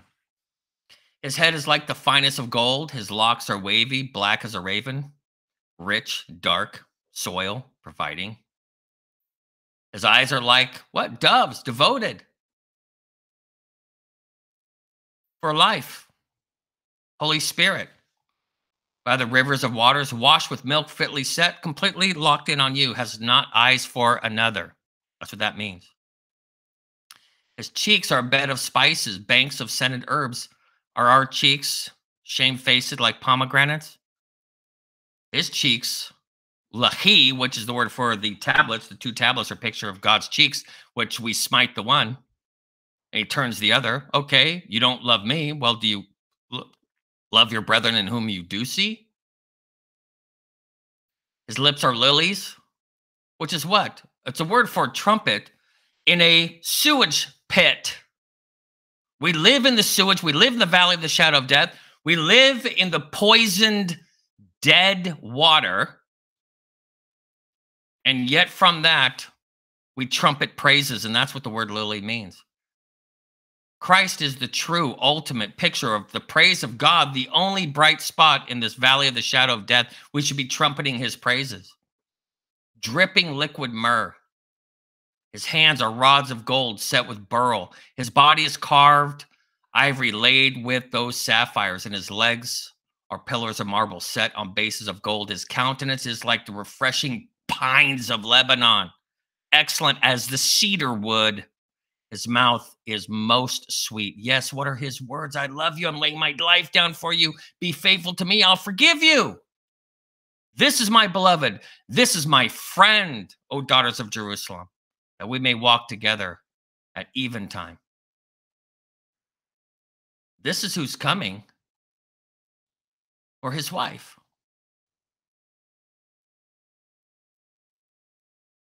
This is who is zealous and jealous for us. This is the one who is swallowed up by the zeal for his reward, which is us. This is who possesses us. This is who overturned the money changer tables to give us access because we are the house of the poor. We're the ones who desperately need God. And do you know what's blocking the access? Theologians. The pomp people, the fuzzy hat people. The people who are proud of their knowledge and they're puffed up. They know nothing of trust and faith and humility.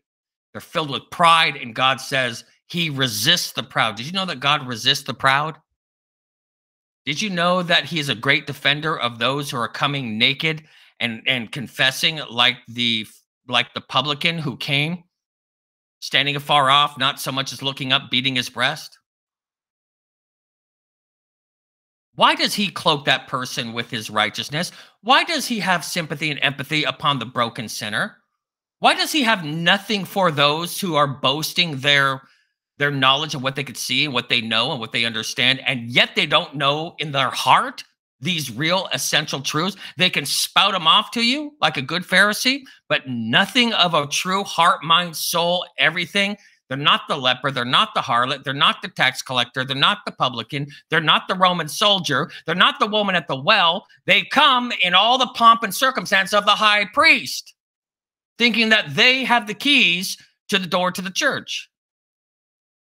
This has always been the curse, the pride of man. And who is the author of that pride? Whose spirit do you partake of? With all the knowledge in the world, you think, oh, this knowledge, this knowledge, this knowledge, but you don't have this knowledge for some reason. But you could break down the chiastic structure of the Greek and Hebrew, which I love. By the way, if it gives me any insight into Christ, great. But really, for the self serving, so we can all say, Rabbi, Rabbi, you great teacher, you're so amazing, to try to fill their what? Their feeble, weak as water ego?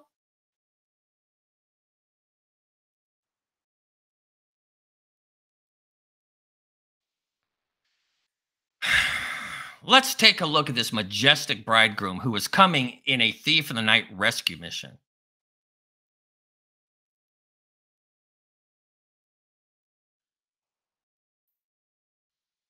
Revelation 19, 11 through 16 says, Now I saw heaven opened, and behold, a white horse. Here he comes, bridegroom, thief in the night, stealing his wife from the tents, the wicked tents of this world of Kedar. And he who sat on him was called faithful and true, and in righteousness he judges and makes war. This is our heavenly high priest. This is the one that wears the breastplate. Let me go back to this real quick. You can see it.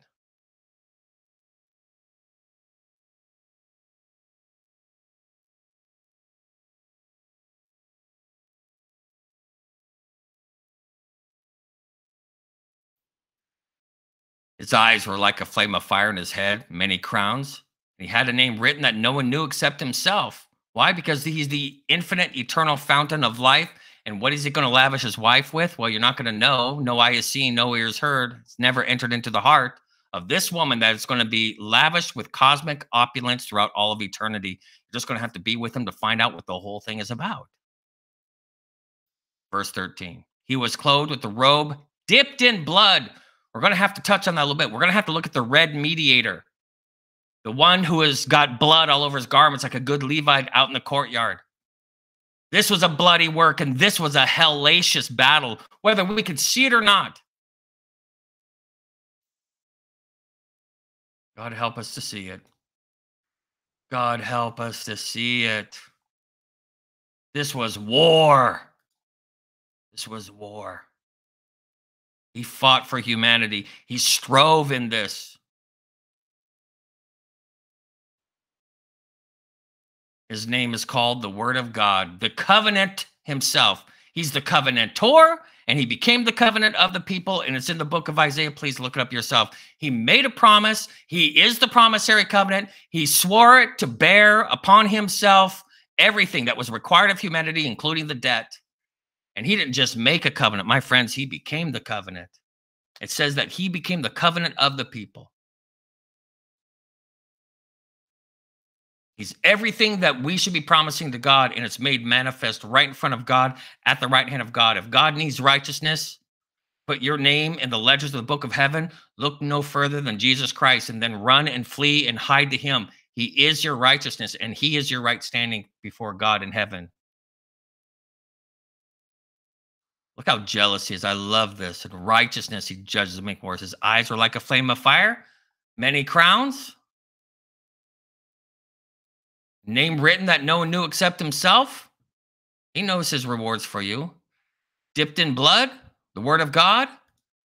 Is he a warrior on the warpath? His armies in heaven? Yeah. He's what Joshua was to the children of Israel. Clothed in the fine linen, white and clean, followed him on white horses. And out of his mouth, here we go, same ones. His authority, a sharp two edged sword dividing down to the thoughts and intent of the heart, the marrow. This is a battle of the soul, whether you know it or not. And that with it he should strike the nations, and he himself will rule them with a rod of iron. Talk about getting the dominion back and making the earth a footstool and getting the rewards of an only begotten Basar, an elect chosen one, a holy one, the Redeemer, Israel himself, the one who prevailed with both God and man. He himself treads the winepress of the fierceness of the wrath of God, and it makes his garment bloody. You're going to see it. And he has on his robe and on his thigh name the King of Kings and the Lord of Lords. This is where you get the word Molech and Baal from. So let's look at this quote Red mediator, who mediates between heaven and earth for man. Boy, I hope you see it. Hope we see it.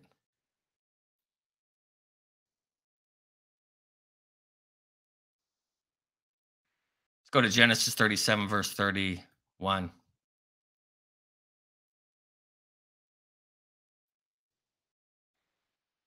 So here's Joseph. This is the one who tunic was dipped in blood, who took the place of Reuben, a picture of the second Adam. So they took Joseph's tunic, killed a kid of the goats, and dipped the tunic in blood. How about the is, is, is this a priest role? Is this a Levitical role? Leviticus chapter 9, verse 9 says, And the sons of Aaron brought the blood to him, and he dipped his finger in the blood and put it on the horns of the altar and poured the blood on the base of the altar. This is a bloody event. The courtyard was a bloodbath. What about his righteous dominion? What about his government? What about the fact that he rules in this concept of being, quote, the blood dipped God? Nevertheless, the gloom will not be upon her who is distressed, as when he first, at first, he lightly esteemed the land of Zebulun and the land of Naphtali, and afterwards more heavily oppressed her by the way of the sea beyond the Jordan and Galilee of the Gentiles. Messiah was coming from Galilee, folks, and he's at war. The people who walked in darkness have seen a great light. Those who dwelt in the land of the shadow of death, us, upon them the light has shined. Christ says, I'm the light of the world. The warrior king has come to do battle, to bring us from darkness to light, from death to life, to filthiness to righteousness, to condemnation to sonship. Verse 3 You have multiplied the nation increased its joy. The Septuagint reads, Most of the people you brought down into your joy. They rejoice before you according to the joy of harvest, as men rejoice when they divide the spoil. Our riches and inheritance are in Christ. For you have broken the yoke of the burden and the staff off the shoulder the rod of his oppressor, which he delivered us from, but he had to do it in a bloodbath where he had to bear our shame and guilt. And the sword had to fall upon him. and the staff on his shoulder, the rod of his oppressor, as in the days of Midian, which is the word for strife. Midian means strife. Look up words. For, are you ready for this? Every warrior's sandal from the noisy battle and garments rolled in blood, a Joseph picture. God's been sign languaging this to his people forever and ever and ever. I'm going to have to get into the bloodbath. I'm going to have to go down to the valley. I'm going to have to do war and I'm going to have to beat this giant and it's going to be a bloody battle, but I will prevail as the firstborn so you can have right standing with God and receive the inheritance. Praise God that he's entered and shouldered and yoked himself with our condemnation, shame, guilt, and curse. And this was the battle that he went to go wage warfare on was death in the grave and condemnation from a lion. All garments rolled in blood will be used for burning and fuel of fire. This is the context where you see, for unto us a child is born, a son is given. Reuben part. Reuben 2.0, second Adam, last Adam, born again. And the government shall be upon his shoulder. Yeah, he shouldered it. He yoked. Shechem and his name will be called Wonderful Counselor, Mighty God, Everlasting Father of Humanity, Prince of Peace, the one who went to fight to give us peace with God under a great cosmic conflict and warfare. And it cost him his life. Of the increase of his government and peace, there will be no end. Why? Because he is eternal and his reward is eternal. Upon the throne of David and over his kingdom to order it and establishment and the judgment and justice from that time forward, even forever, the zeal of the Lord of hosts has performed this. Ah, there we go. There we go. Now, I won't get too much into this because we're going to have to really get into Christ bearing our sins. I'm going to, we're already at two hours. I'll stop it here. But you're going to see that this is what Satan tried to, this is the warfare. We'll get into that next time. What's the first stone mentioned where Satan looked to ascend? Sardis The very first thing it says that Satan, right here, lamentation, that you were a signet of perfection, full of wisdom and beauty. You were in Eden, in the garden of God, and every precious stone was your covering. Sardis. He wished to be the quote, firstborn inheritor.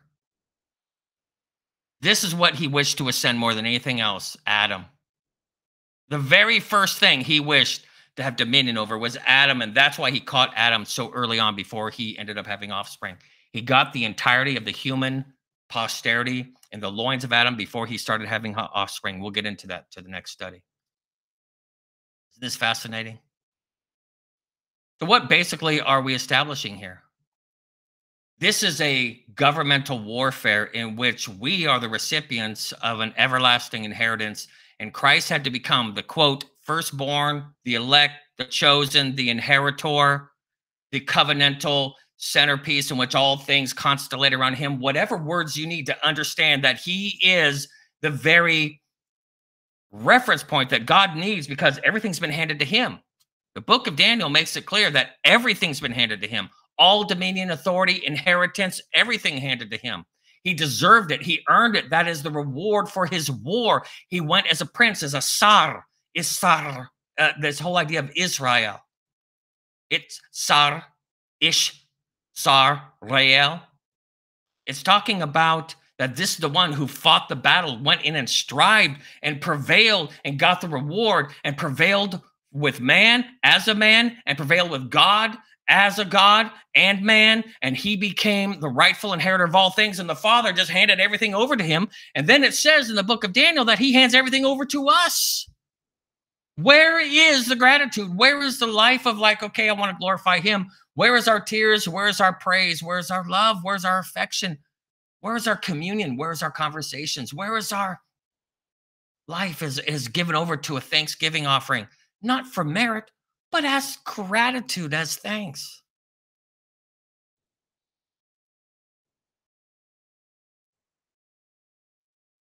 This is why Satan is doing everything he can to cast the sanctuary to the ground, trample it underfoot, to cast the truth to the ground, to trample it underfoot.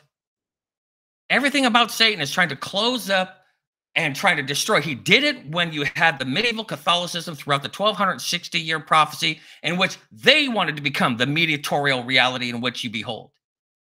What a monstrosity that is. And what did it do? It sealed up the mediation of Jesus Christ in heaven. And God had to use the Reformation to get our eyes fixed back on our substitute and surety, in which we are justified by faith through another man's righteousness who is mediating on our behalf, not because of saints, not because of uh, Mary, not because of all this strange order of things in which this is all kind of this amalgamated mess here on this earth with this magisterium. Cast that aside, cast out the bondwoman. You have one mediator in heaven, and you have one righteousness in which you have standing with God. And Satan will do everything to destroy the simplicity of the gospel. He'll use theologians to do it, so called, get you caught up in trifling things, and you lose this, this, this reality of the gospel. Why do you think in these last days God is restoring our understanding that we are mortal beings, that we have no life in ourselves, and immortality and life is in Christ alone? Why do you think God is restoring that? So we make no mistake to assume that we have divinity and righteousness and life within ourselves, that we are not the substance of God, we are the image of God, and there is no life in an image. Life is in Christ alone, and in Him alone is immortality. Why did God restore the fact that we are immortal? You eat of this and you shall surely die. We're like, no, not really. For how many years now? These early so called Nicene church fathers, and which is somehow promoting our immortality, in which these supposed theologians are addicted to that idea. Why? Because it's a divine God status. Surely you shall be as gods, you shall not surely die. These are theologians keeping this alive. Flee from that, flee from Babylon. The scripture is clear. We are mortal and we shall go to the dust of the ground and we're going to perish in a second resurrection if we not have the eternal righteous substitutionary life of Jesus Christ mediating in our behalf in which we can enjoy the return of Christ where we're changed in the moment of a twinkle of an eye and we put on immortality at that moment or we're given the cloak of immortality upon the resurrection God is trying to spare us of such arrogant, presumptuous pride and fantasy that we are somehow mystical, eternal creatures, which we are not. That is Satan blowing into our ear with his creepy forked tongue, licking our eardrum in some creepy way. Why do people have a problem with keeping the commandments of God in our sphere? Because we don't want to come under his lordship. We don't want to be having, like, for the Sabbath is a, is a sign and a memorial of what? That we are a bride under the lordship of him who created the heavens, the earth, the sea, and the land, and everything, and that he has worked a work of salvation in which we are here to bear a reflection of that glory and show that we are under his dominion and we have the law of God written upon our hearts in a strange, wicked, twisted, defiled world. A wicked generation that is lawless, and not under the dominion of the Holy Spirit of God, not having the law of God carved out upon our hearts, but we're under bondage. We have this supposed idea of liberty and freedom. And guess what? We are truly, truly in bondage, lawless, workers of iniquity. Presuming that we can call Lord, Lord, Lord, Lord. And he says, Depart from me. I never knew you, you workers of lawless iniquity. You, you, you are not under my lordship. I am the Lord, your righteousness. You are my wife. Where is our sign? Where is our seal? Where is our picture of that we're under his dominion, that we're under his canopy, that we are under his finished works, and that we are here to glorify him as a woman is there to be the glory to her husband? Why, why are we fighting this? Why is God restoring this truth? Because the bridegroom comes and he's coming. Why? He's jealous. Let's go back to this very last thing. It says that to order and to establish it with judgment and justice from that time forward, even forever. Are ready for this? The very last words. The zeal of the Lord of hosts will perform this. He's jealous for his wife. He is jealous for us to come under his dominion. He's jealous for us to renounce the hidden things of darkness and shame and the evil, wicked connivings of the heart in which we're having fellowship and communion, we think God doesn't see us. The book of Malachi says, Oh, how are we defiling you? How are we dishonoring you? And we're saying, Wait a minute, you think I don't see? You think that I don't judge the wicked? You think that everything just goes on as as what looks apparent to you? How dare we impugn God that he doesn't know the difference between good and evil? You better, we better, I better, we should all better say, God, what is, what should I depart from? What should I flee from? What should I separate from? This is all New Testament stuff. You can find everything I have to say in the New Testament. This is not David preaching works righteousness. This is David preaching the law of God written upon your heart. You have entered into the new covenant, and you are his wife and his bride. And I show you a mystery, and you are under his lordship and dominion, and Christ is your husband. Obey him, trust him, love him, glorify him. Right? He's a zealous God. Where is your heart, mind, soul, and strength? Lazy, and you're going to see this in the book of Sardis, even though he's reestablishing and re-showing himself as the Sardis, as the chief cornerstone. We're going to get into this on the next study very intensely. That in him lies all the wealth and righteous inheritance in which you can have confidence and right standing and boldness to come to the throne of grace. But your works are are I, I have this against you. This is New Testament. You can't get any more New Testament in the book of Revelation. He says the same thing about the book of Ephesians. When there is good doctrine, it's weird how we just kind of chillax and we go, well, I mean, you know.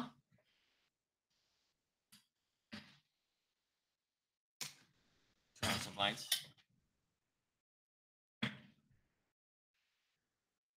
When God gives us great light about Jesus Christ, it is not to sit back and to rest on our lees and to get presumptuous. It says, Do you don't want your, your love to be rekindled again? Go back to your first works in which you loved him with your heart, mind, soul, and strength. Satan is going to destroy more people with presumption and this idea of resting upon our laurels, resting upon our lees. It's going to make us bitter. It's going to make us poison. It's going to spoil us and ruin us. Where are the Christians that are zealous to display the glory of God, to show the world that the law of God is written upon our hearts? Where is to love the Lord your God with your heart, mind, soul, and strength, with all of your substance, with your time, with your words, with your affections, with your emotions, with your lifestyle, with your job uh, choices, with your influence in the family, with how you live, with how you think, with how you process, with how you manage your your your communion with God. Everything is to be touched by this. It is with the heart. The word in the Greek is cardio for all of you Greek freaks out there. Cardio means the entire circulatory system, your whole being should be caught up in this. And God says, You guys don't seem to have the zeal that I have for you.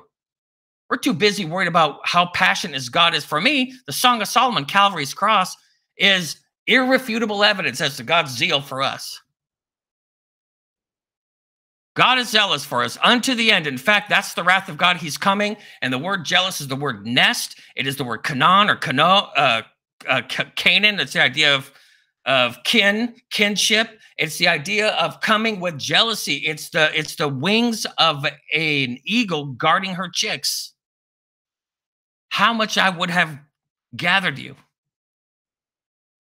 As a mother bird gathers her young, that's how I feel towards you. And yet you don't recognize me. Yet you're ready to crucify me. And this was Christ weeping. This is where he wept. The shortest verse in the Bible. He wept because he's going to Jerusalem and his people do not recognize him. They don't see his zeal. He's swallowed up in zeal. He's there. He overturned the money changer tables. He dealt with a murder scene in which he was the victim of this murder. And he triumphantly, in his zeal, in his passion, in his love, he raised himself back up from the grave again, triumphantly ascended to heaven to plead in our behalf and we are nonplus and we are absolutely slack, slothful, so lazy that we turn upon our hinges that we don't even want to take our hand out of our armpit because we're afraid it might inconvenience us to go around glorifying God, to showing his beauty, his righteousness, his glory to the rest of the world. And somehow we think that that is going to play out in the end and work for us with a once saved, always saved false teaching mentality. Nothing is safe when you're listening to presumptuous words that say peace and safety when there is no peace and safety. Anything that feeds into your presumption, everything that feeds into your fantasy, everything that feeds into your lie, everything that feeds into your natural laziness is your enemy. Christ is zealous for you. That should in turn awaken a zeal and love for him. He loved us first. He should be awakening that love. He should be stirring something in you and me that we don't have by nature. By nature, we are selfish. By nature, we are lazy. By nature, we don't want to inconvenience ourselves. By nature, we don't want to sacrifice. By nature, we want everything to be pillowed.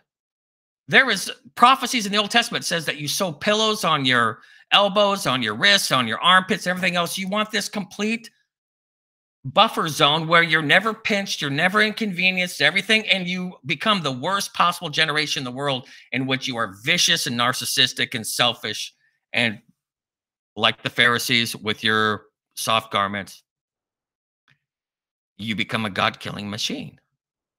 We don't see that the solution that Satan has to make us God killers to disqualify us from the return of Christ, like he did on the first advent, is to turn us into a bunch of pampered, coddled, convenienced, self serving, self aggrandizing, self glorifying babies. And he's done a perfect job of this generation. We can see it. We can see it culturally. We can see that this is the fall of civilization. We can see that we've created the biggest narcissist generation that's ever been developed in all the history of humanity. It's a it's it's seven billion Neros playing the violin while they burn Rome. You think Satan's hand is not in on all of this?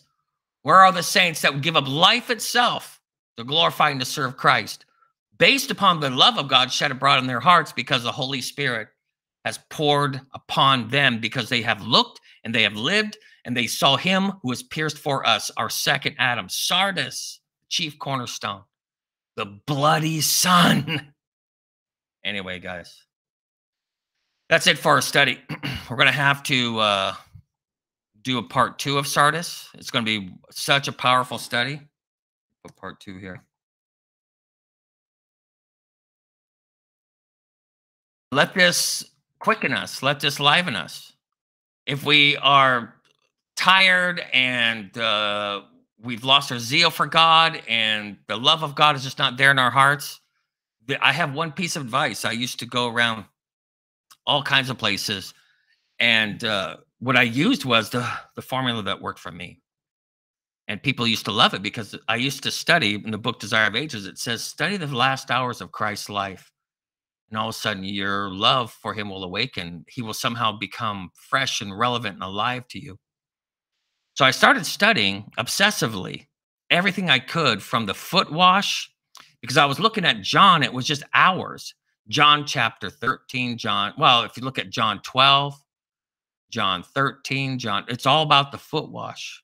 John, there's two foot washes there. Mary washed his feet, he washes the disciples' feet. And then comes the communion service, and then these big talks, and then it's John chapter 14 and 15 and 16 and 7. This is all one night. This is all John is just literally marking the hours from the foot wash onto, and he was there. He was the witness. He was the only person that didn't take off running.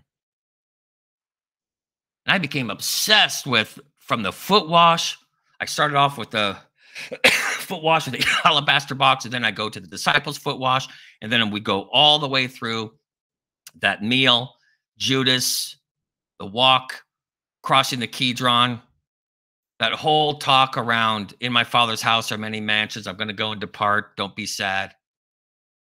Abide in the vine. I'm the true vine. I'm going to send the Holy Spirit. He's going to remind you of all these things. He goes and he prays in the garden. He he prays the high priestly prayer. He's saying that Father, make them one as we are one. And then he marches right into the hellscape of his judgment. Then he's abused and mocked and shamed. And we did everything that we could to rip him down from his throne. And then he finally lays up on Calvary's cross. And I did so much research and all that stuff, so much studying. And in fact, I'm still obsessed with it. If you saw my library, a big part of my library is to study all the legal realities that happened there, all the historical stuff that I could find there, anything that I could find to give me insight into those last few hours of Jesus Christ. And it is absolutely life changing. And so I recommend that we spend uh, any time that we can on those last hours. If you feel far from Christ, spend time on those last hours. You will uh, make no mistake in your mind as to how much God loves you. You need to know this. That's why after that tour of the Trial of Christ tour, I used to do the Song of Solomon because people did not understand the zeal of God and how intensely focused and impassioned he is, so much so that he was allowed to just he ripped off his garments and he jumped in the water and says, This is a shark infested water and I'm going to be torn to shreds, but at least they'll be saved. Powerful stuff, you guys. All right, guys. Thanks for your attention, your time. We're at the two hour, hour mark. Thank you for being here. Pray for me, pray for this ministry, pray for my health, pray for one another. And let's press on. We are at the last hours of this earth. We're headed into a great time of trouble, such as never since there was a nation or nations. We're headed wars, rumors of wars, and then comes demonic manifestations at levels that we have yet to have ever even calculated. We don't even know what Satan has in store for the grand finale. God help us. Be it UFOs, be it demonic manifestations, be it people supposedly raised from the dead that are relatives speaking to us, whatever demonic falsehood nonsense that's coming our way, you guys. It's going to be something. It's going to be something. But our faith must be fixed upon Christ, and we are not to fall under the terror of the roaring mouth of the lion, saying, I rule the earth, I have dominion over the earth. And because to tremble is to worship.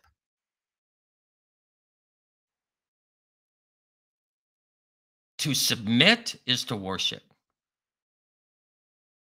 To obey is to worship. To hear and to tremble and to comply is worship.